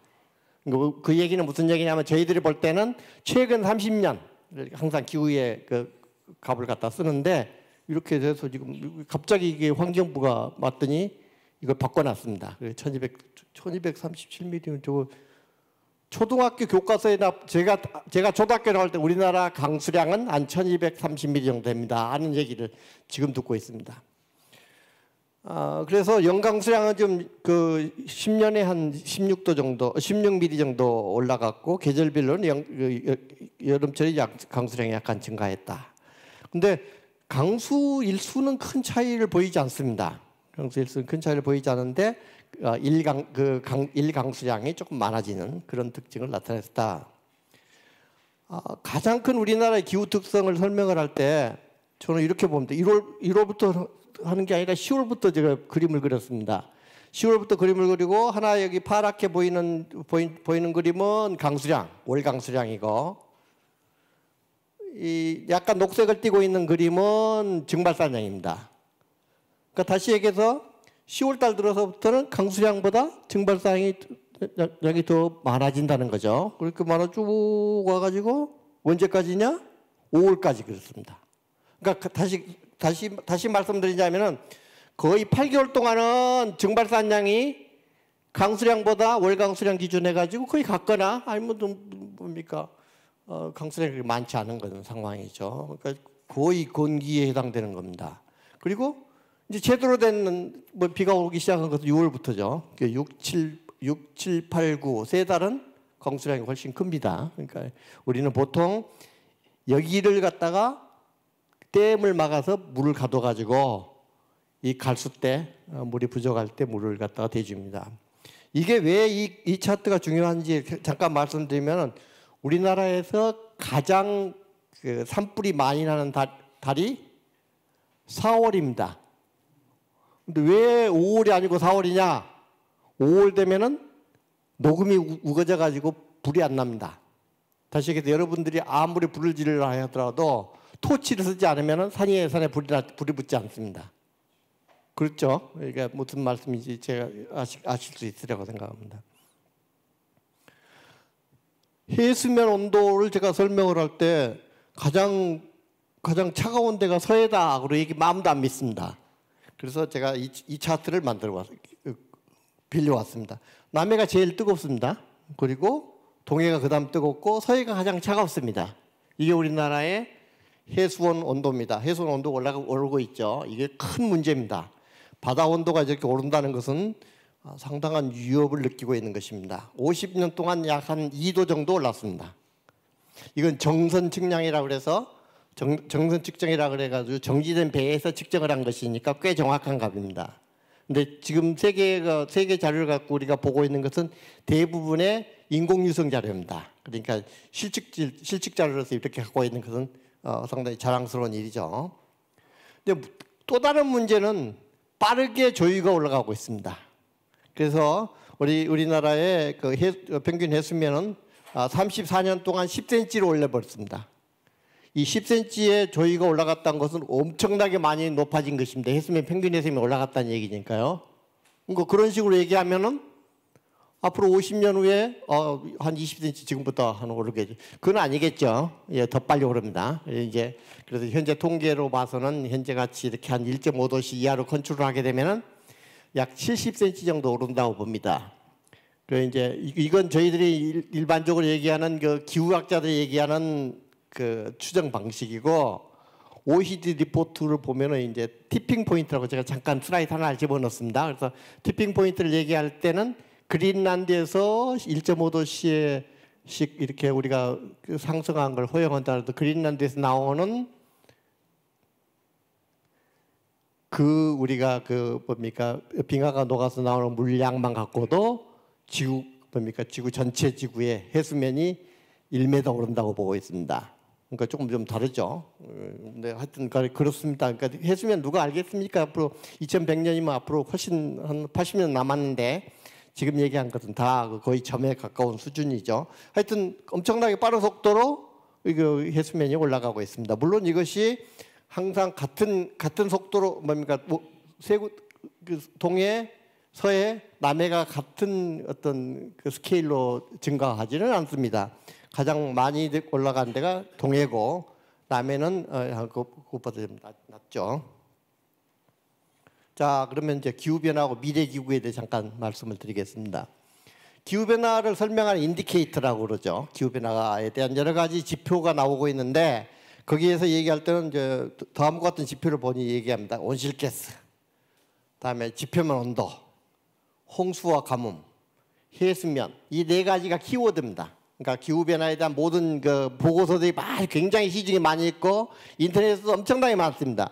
여기에 기후 변화에 대한 그, 그 관련된 그, 마- 그 뭡니까 용어는 단어들은 이 네 가지 키워드에 해당되는 것이죠. 그래서 이, 이 내용을 간략하게 살, 살펴보겠습니다. 빠르게 올라가고 있는 것이 지금 그 탄산가스 배출량이죠. 그래 지금 현재 한 420 ppm 정도 지금 평균적으로 올라가까지 어, 달았습니다. 우리가 보통 우리가 흔히 얘기하는 나중에 연도를 다시 말씀드리겠습니다만 이때 우리가 1900년도 1850년부터 1900년도를 대략 기준년으로 잡고 있는데 그때가 한 200, 한 7, 80 정도 됐습니다.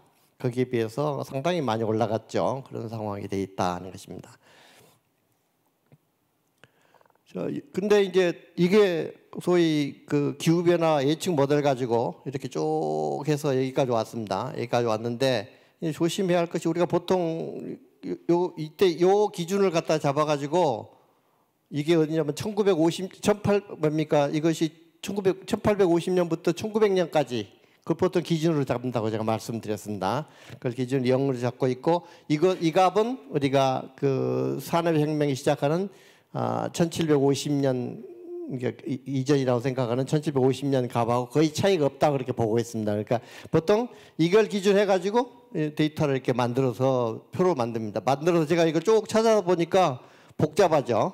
다만 특정 연도의 값은 특정 연도의 값은 어, 이것보다 높을 수가 있습니다. 그것이 대표적으로 관측 사상 가장 높은 온도를 보인 것이 아, 어, 아, 아노말리 기준해 가지고 편차 기준해 가지고 약 1.4도 정도 올랐다고 그러죠. 그래서 2000, 어, 2023년이 WM, WMO에서 그 제시한 가장 더운 해 그렇게 얘기했는데 그것이 리포트가 그 우스운 게 WMO에서 데이터를 그건 이제 세계 기상기구니까 전국 그각 나라에서 이렇게 자료를 받아야 됩니다. 받아서 얘기를 하면 대략 한 3월쯤 돼야 작년 데이터가 나오죠. 그리고 좀 늦을 테니까. 그런데 11월 2023년 11월 달에 올해가 제일 더웠다. 그렇게 보고를 합니다. 근데 엊그저께 지상 그, 그 뉴스를 보니까 2024년 6월이 가장 또 높답니다. 그러니까 지금 6월 달 중에서 제가 6월 기준에서 지금까지 관측 기록 중에서는 가장 최고다. 그렇게 얘기를 하니까 분명히 더워지고 있는 것만 사실이죠. 근데 사람들이 더위 그 제가 기후 변화 말씀을 드릴 때 옛날에 한 10년 20년 전에 얘기할 때는 과학자들도 통계적으로 이렇게 아까 같이 제가 그 아, 서울하고 주풍량 비교했을 때처럼 연도별 평균 기온을 갖다 쭉 연, 연평균 기온을 그 변화를 보면은 어, 별 차이 없어 보이는데 주풍량은 그냥 그 어떤 그런 경향이 없는 것 같은데 하고 열섬 효과냐 이제 그런 정도 논의했는데 지금은 전부 다 기후 변화라고 얘기합니다. 왜 그럴까요?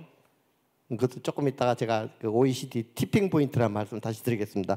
거기 기준해 가지고 하여튼 저- 제가 기준해서 1850년부터 1900년 달 기준이 요거 이 값입니다.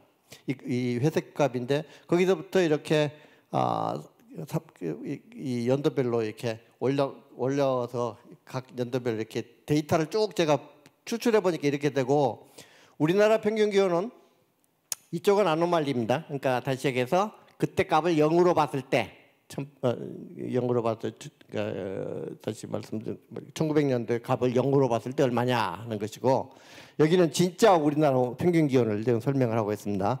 그래서 12.6도 여섯 개 지점 아까 했을 때 요 이때 값이 12.6도였는데 예, 그 정도가 한 14도 정도 된다고 그랬죠. 그리고 전국 평균을 이렇게 더 많은 스테이션이 있으니까 전국 평균 우리가 13.7도 정도 어, 평균 기온을 전국 전국적인 평균 기온을 갖고 있습니다. 이게 아까 제가 잠깐 그 말씀드렸던 그 해수 온도보다는 좀 낮습니다. 예, 그러니까 해수 우리나라는 해수 온도보다는 어, 그 온도가 낮다 그렇게 낮다는 얘기는 겨울이 있으니까 좀 낮고 바닷물은 아무래도 겨울에는 약간 뜨고 따뜻하니까 아, 그렇지 않다는 것이죠.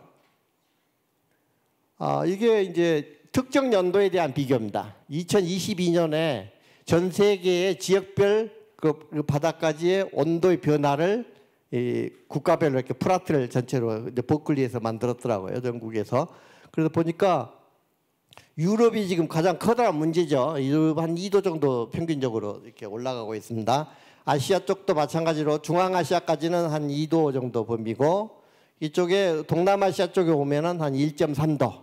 이게 제가 여기 썼는데 중국은 1.7도, 일본 1.3도, 북한 1.3도, 우리도 한 1.3도. 이 특정 연도입니다. 2022년이니까 22년에 우리나라는 한 평 그 그 지- 지표면 온도가 한 1.3도 정도 어, 그 기준 연도에 비해서 올랐다. 이제 그렇게 어, 말씀을 드릴 수 있습니다. 어, 그리고 이건 해수온 온도 변화 그전 그 뭡니까 전 지구적인 해수온 온도, 온도죠. 여기 이제 그 해수면 높이 이것도 마찬가지로 간략하게 정리를 했지만은 아, 우리가 해수온은 1951년 대비해 가지고 그왜 이렇게 특정 연도가 50년 갑자기 올라와 버렸냐 하면 이전의 데이터가 별로 없습니다. 그래서 이제 해수온이 어, 자연히 이렇게 좀 돼서 1점 한 0.8도 정도 올랐고 해수면은 아 1900년부터 해가지고 2010년에 한 18cm 정도 높아졌다. 하여튼 분명한 것은 우리가 해수온 해수면이 자꾸 올라가고 있고 해수온이 따뜻 약간씩 따뜻해지고 있다 하는 말씀이겠죠. 이게 이제 climate tipping point라고 하는 것인데 tipping point라는 것은 우리말로 뭘 아까 제가 그, 그 뭡니까 전반부에서 설, 발표하실 때 들어보니까 티, tipping point라는 말을 많이 쓰시던데 쉽게 설명을 드리자면 그 선박이 이렇게 왔다 파도쳐도 흔들고 이러고 있다 확 넘어갈 때 그러니까 한 state에서 다른 state로 움직였을 때 보이는 점이 전도점이 되겠죠. 그러니까 이 전도점들인데 이 전도점 중에서 제가 여기서 이제 tipping point에 훅그 그 여러 candidate가 있습니다. 그린란드 빙상의 녹음은 1.5도씨 정도 되면 한 1m 정도 된다 그랬습니다. 서남극 빙상이 그 남극의 빙상이 붕괴되고 아마존 열대 우림이 고사되는 것이 한 3.5도 정도 오르면은 어, 고사된다고 보고 있고요. 가장 지금 유럽 사람들이 고민하고 있는 것이 멕시코 난류가 안 올라올까라는 문제죠. 그 멕시코 난류가 턴오버 턴어라운 될 것이 북상 해류가 붕괴되는 것을 사도로 보고 있습니다. 그러니까 그때쯤 되면 아까 제가 요 그림에서 본 것과 마찬가지로 이게 넘어지는 것이죠. 이게 전도점을 지나서 이렇게 덜렁 넘어져 가지고 해류가 안 올라옵니다. 해류가 안 올라오면은 겨울에 축구를 못 합니다. 우리나라 축구 못 하죠. 엄청 추워 가지고 뭐 땡땡 땅이 얼어버리니까 잔디, 그 잔디밭에도 운동을 못할 정도가 춥죠 우리가. 그러니까 세상이 달라져 버립니다. 예, 그래서 그게 이제 그 이쪽에 유럽 사람들이 기후 변화에 서 굉장히 민감하고 그 기후 변화에 대해서 굉장히 서포티브하죠. 미국은 택도 없는 소리 말해라. 왜냐하면 아까 제가 우리 우리나라 1.3도씩까지 올라갔을 때 미국은 한 0.7도밖에 안 오릅니다. 미국 전체 대륙에서. 그러니까 별로 그렇게 걱정 안 해도 되는 거죠. 그런데 거기에 비해서 유럽은 지금 상당히 고민입니다. 지금 항상 문제가 유럽의 티핑 포인트를 생각할 때는 기후변화, 기후변화 얘기할 때는 이게 가장 우선입니다. 그래서 사실은 북해에 북해 어떤 사람은 북극에 얼음이 녹으면은 회수이 올라가지 않냐? 별로 안 올라요. 왜냐하면 얼음이 물 속에 물 위에 떠 있으니까 그 녹아봐야 뭐 그냥 그렇겠죠. 네, 그런 상황이 됩니다. 이제 이것은 이제 배출 경로 경로에 대한 그 말씀을 잠깐 드리는 것인데 이 갑자기 그 1.9가 생겼습니다. 옛날에는 우리가 전부 2.6이었어요. 그 옛날 시나리오가 그러니까 AR6까지가. 근데 왜 1.9가 생겼냐 하면은 유엔 그 사무총장이 바뀌더니 모든 유엔 기구들이 갑자기 2. 뭡니까 2.0도에서 1.5도로 limit를 내자. 그래서 어, 그 전부 다 이제 바뀌었습니다. 그래서 그냥 완전히 turnaround 돼 가지고 지금은 이제 1.1.5도를 target으로 하는 어, 뭐 그래서 1.5도하고 2.0도가 어떤 차이가 있는지 조금 이따 다 설명을 드리겠습니다. 그래서 하필이면 그것이 인천에서 이 IPCC 회의가 있었습니다. 2018년인데 이 사람들 모여가지고 아 1.5도로 즉 뭡니까 우리 현재 지금 현재 아까 제가 잠깐 말씀드린 현재는 한 1도 정도 올랐습니다. 0.9 정도, 9도 정도 보고 있죠. 아까 1.3도는 무슨 얘기냐? 그래서 이제 그냥 특정 연도를 얘기하는 것이고 대략 한 20년 정도의 기후 평균을 온도 기온 평균을 내면은 지금 한 아, 1900년 대비 한 1.0 정도 올랐던 올라 오른 거죠. 근데 이 사람들이 모여 가지고 해필이면 인천에서 1.5도 그렇게 선언을 했습니다. 그래서 1.5도가 target가 됐죠. 그래서 이렇게 지금 1.5도 이하로 유지하면은 이런 식으로 1.9를 찾으면 이런 식으로 지금 그 어, watt per square meter입니다. 이게, 이게 뭐 나중에 이렇게 그냥 그냥 넘어가죠. 옛날에가 있는 것이 2.6이었습니다. 그리고 지금 우리가 대부분의 그 농업 데이터들은 8.5를 기준하거나 어, 뭐한 그렇게 기준해 가지고 보고 있죠. 그래서 그거 뭐한 4도 오른 겁니다. 저게 큰일 난 일이죠. 자 이제 대개 기후 변화 예측이던 게 저렇게 됐다 말씀드렸고 어, 지금 그 전 세계적으로 과학계에서는 1.5도씨를 우리가 목표로 하고 있다.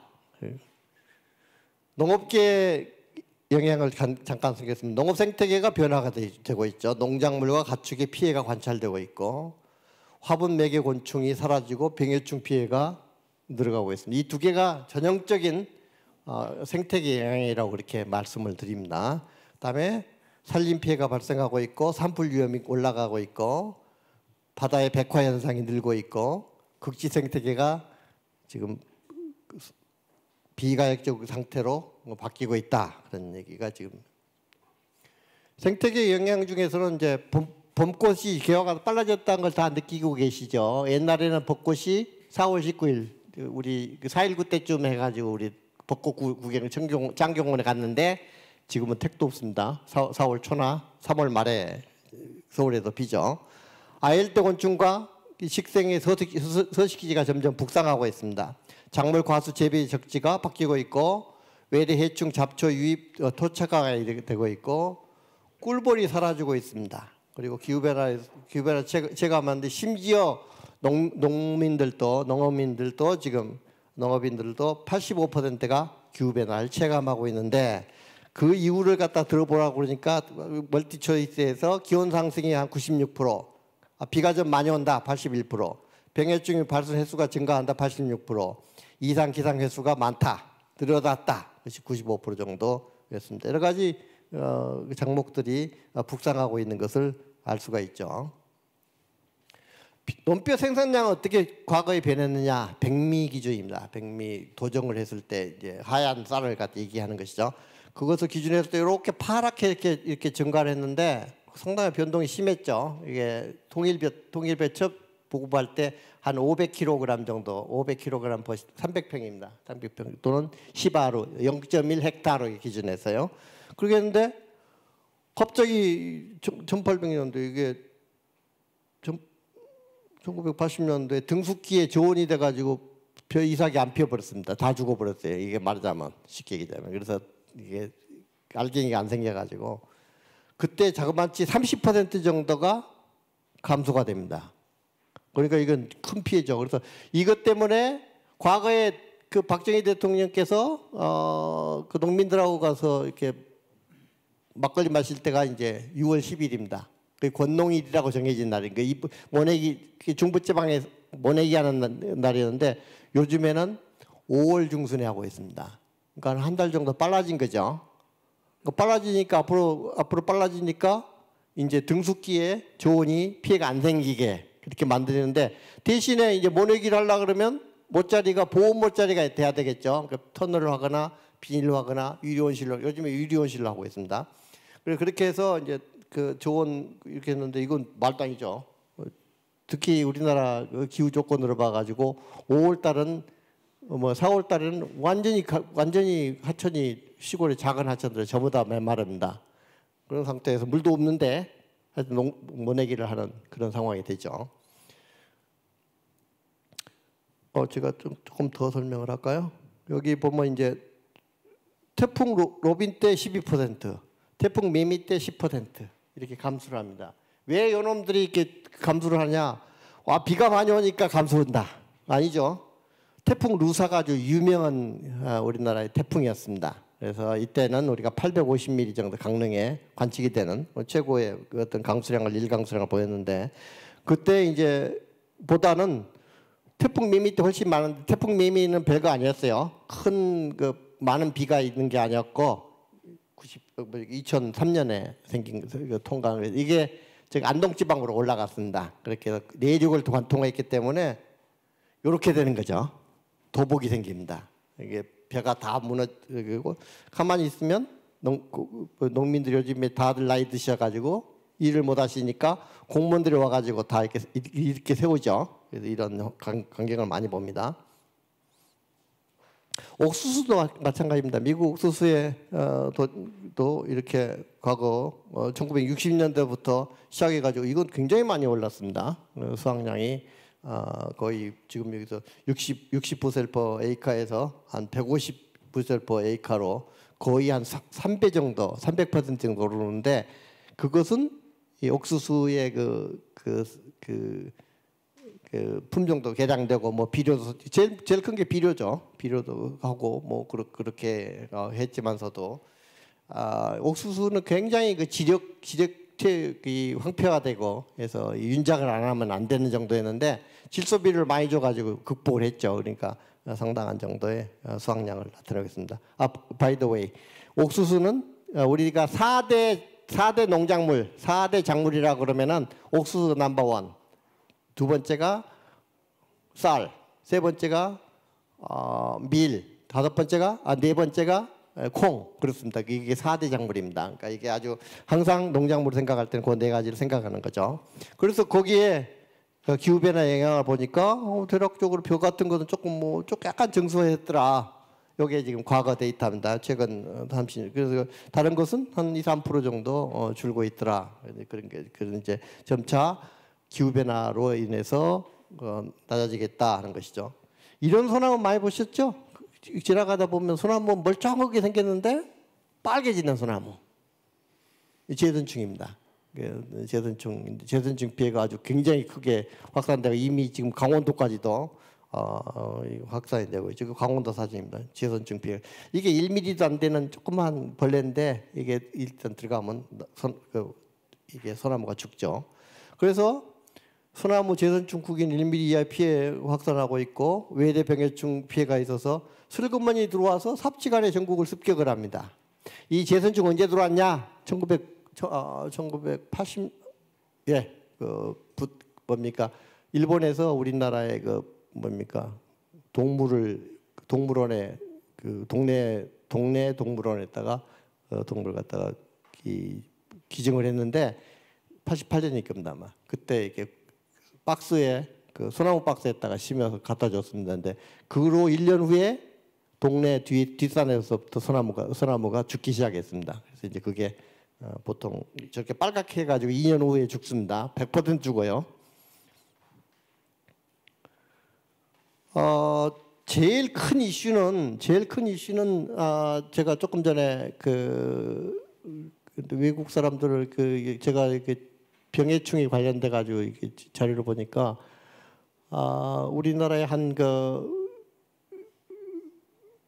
병해충을 방지할 수 있는 농약을 수입하는 종류가 한 860가지, 860개 정도가 매년 등록이 되는데 아, 지금 자기들 생각은 이 동일한 품목을 계속해서 생산하면은 동일한 성분으로 이 농약을 만들면은 금방 이게 그 적응을 한답니다. 그래서 그 성분을 자꾸 이렇게 바꿔줘야 된다고. 그래서 최소한도로 한, 한 병해충을 타겟으로 하려 그러면 네댓 개를 자기들이 그, 그게 약품, 농약을 개발하지 않으면 안 된다는 그런 얘기를 썼더라고요. 그래서 어, 공감되는 얘기입니다. 왜냐하면 해충이라는 것이나 또는 아, 그 식물병이라는 것이 훨씬 더 빠른 사이클로 움직이죠. 그래서 살아남은 우리 그 뭡니까 코로나하고 똑같은 것이죠. 살아남은 놈이 결국은 장생하는 것이죠. 그래서 그 그렇게 더 죽은 놈이 그 독성이 약해지는 것이 아니라 살아난 놈의 역성이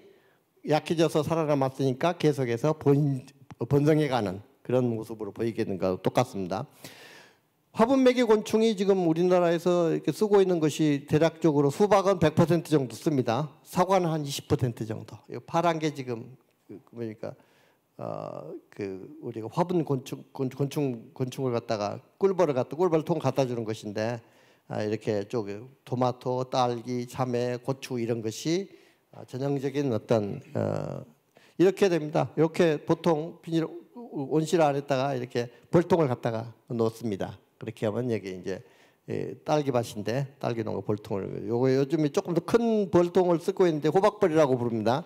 이것은 토마토 같은 것은 이, 이 벌, 벌, 꿀벌이 잘 안 잘 못하게 됩니다. 꿀벌이 있으면 딸기 못 먹습니다. 이제 요즘에 이제 어, 과부는 뭐 과수 중에서 사과는 이렇게 직접 가족들이 이렇게 하거나 최근에 보니까 드론으로 하더라고요. 드론으로 이걸 하는 것이고 이 여러분들 딸기가 이렇게 됩니다. 이렇게 이제 따, 다른 꽃에서 있고 화분이 되면은 이렇게 정상적으로 발육을 하는데 어, 자체적으로 하거나 혹은 바람에 의해서 어, 화분이 하게 되면 이런 모양 약간 이렇게 끝에 꼬락 꼬리가 이렇게 이렇게 나와 있는 것은 다 기형적인 것인데 저런 과일이 발생됐다는 것은 전부 다 화분이 잘못된 것입니다. 그러니까 어, 과치를 위해서 상당히 그 걱정이죠. 폭염으로 해서 가축 가축 폐사가 굉장히 늘어나고 있습니다. 예, 그래서 이제 제일 많이 죽는 게 닭이죠. 닭이 몇만 마리 몇만 마리씩 죽고 있고 집단 폐사 사례가 생기고 있습니다. 예를 들어서 2023년 8월 달에 전국적인 곳곳에 큰 상원을 넘긴 장마가 끝난 뒤 체감 온도가 35도를 윗도는 살인적인 폭염이 연일 이어지면서 농가 시름이 깊어지고 있다 하면서 쭉 이렇게 나와 있는 결과를 제가 정리를 해봤습니다. 기후 변화로 인한 농업의 영향을 간략하게 정리를 했는데 시간 관계에서 생략하고 보고서의 내용을 설명을 했습니다. 간략하게 얘기해서 기온 그리고 아까 제가 말씀드린 대로 강수량 기온이죠. 그러니까 비가 오고 어, 다음에 온도가 온도가 어떻게 되느냐 그런 것에 관련된 것이 있고 어, 그런 내용입니다. 세계 식량 문제를 잠깐 말씀드리겠습니다. 지금 우리 세계 인구가 81억 1억 명 정도 되는데 그 중에서 약한 8억 명, 10% 정도가 영양실조에 걸리고 있다, 고통을 받고 있답니다. 그래서 근데 앞으로 어, 1950년도까지 식량 식량 생산량의 60%만큼 증산이 필요하다는데 너무 많은 것 같아. 제가 50% 어, 우리 회원님들이 기억하기 쉽게 절반으로 뚝 쳐나가고 50%라고 얘기를 했습니다. 아, 60% 정도 그 정상이 필요하답니다.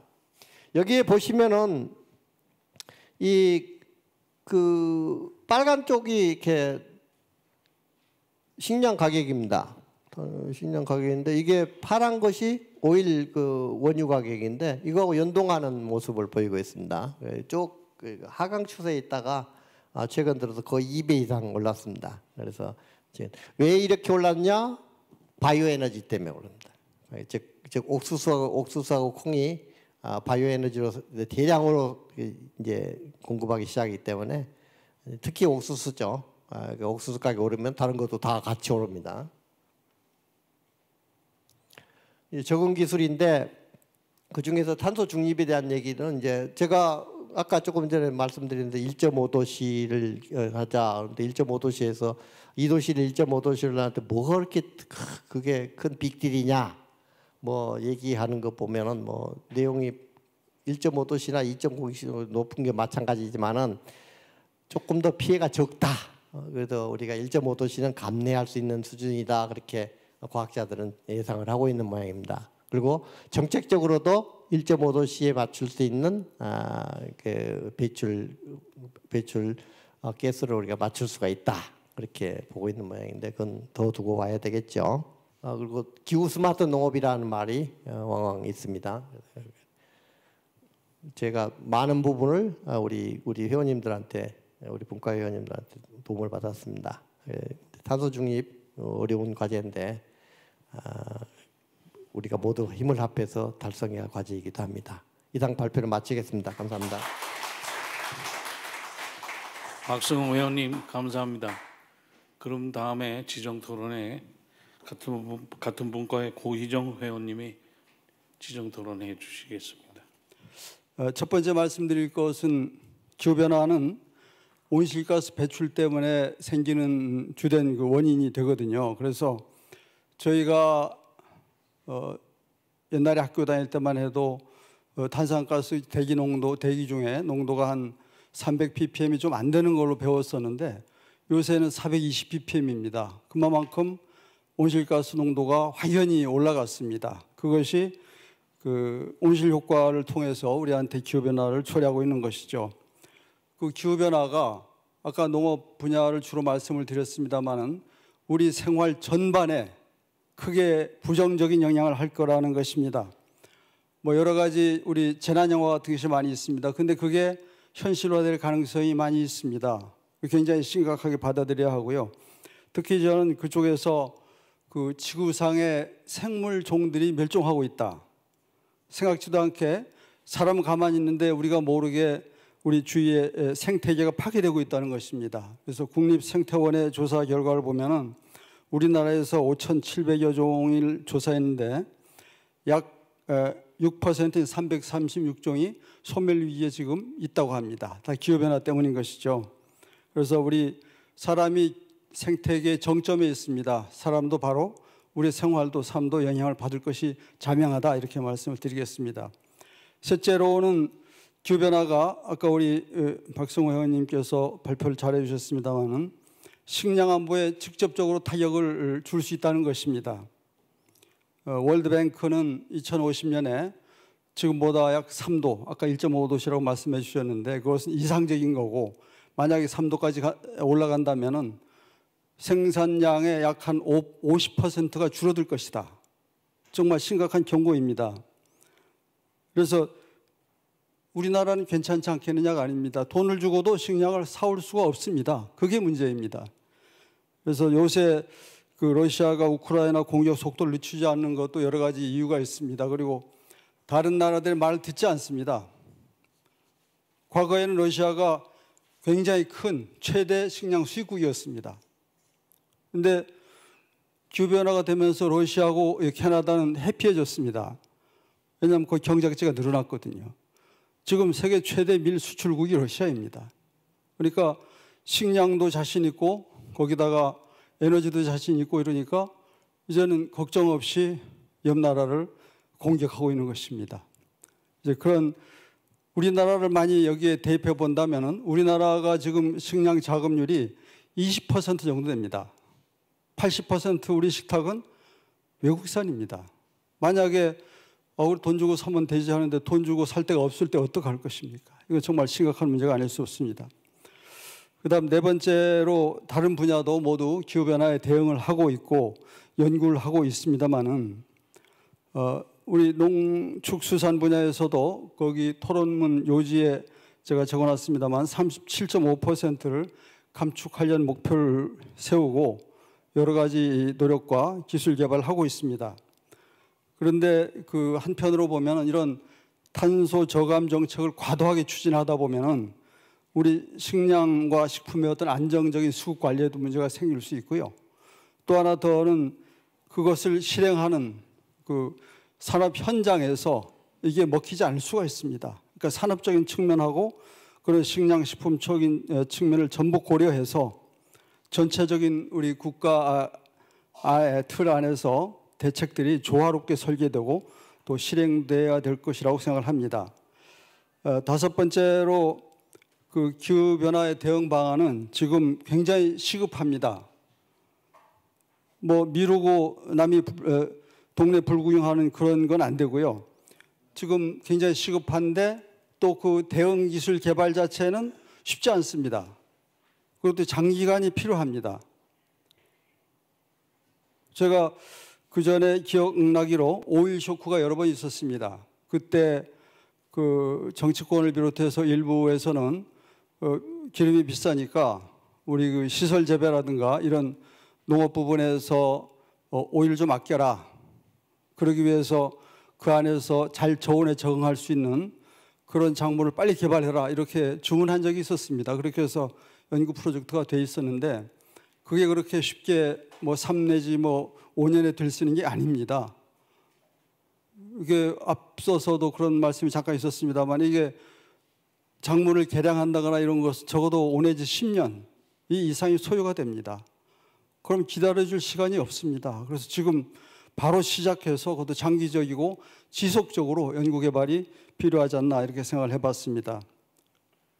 마지막으로 우리 기후 변화는 지금 진짜 처음에 말씀드렸듯이 남 얘기가 아닙니다. 바로 우리한테 닥쳐와 있는 것이고 우리가 언제 또 엄청난 재난을 당하고 이제 와서 소유고 외양간 고치는 격에 그런 우를 범하지 않기를 저희들은 항상 바라고 또 거기에서 대비를 해야 될 것입니다.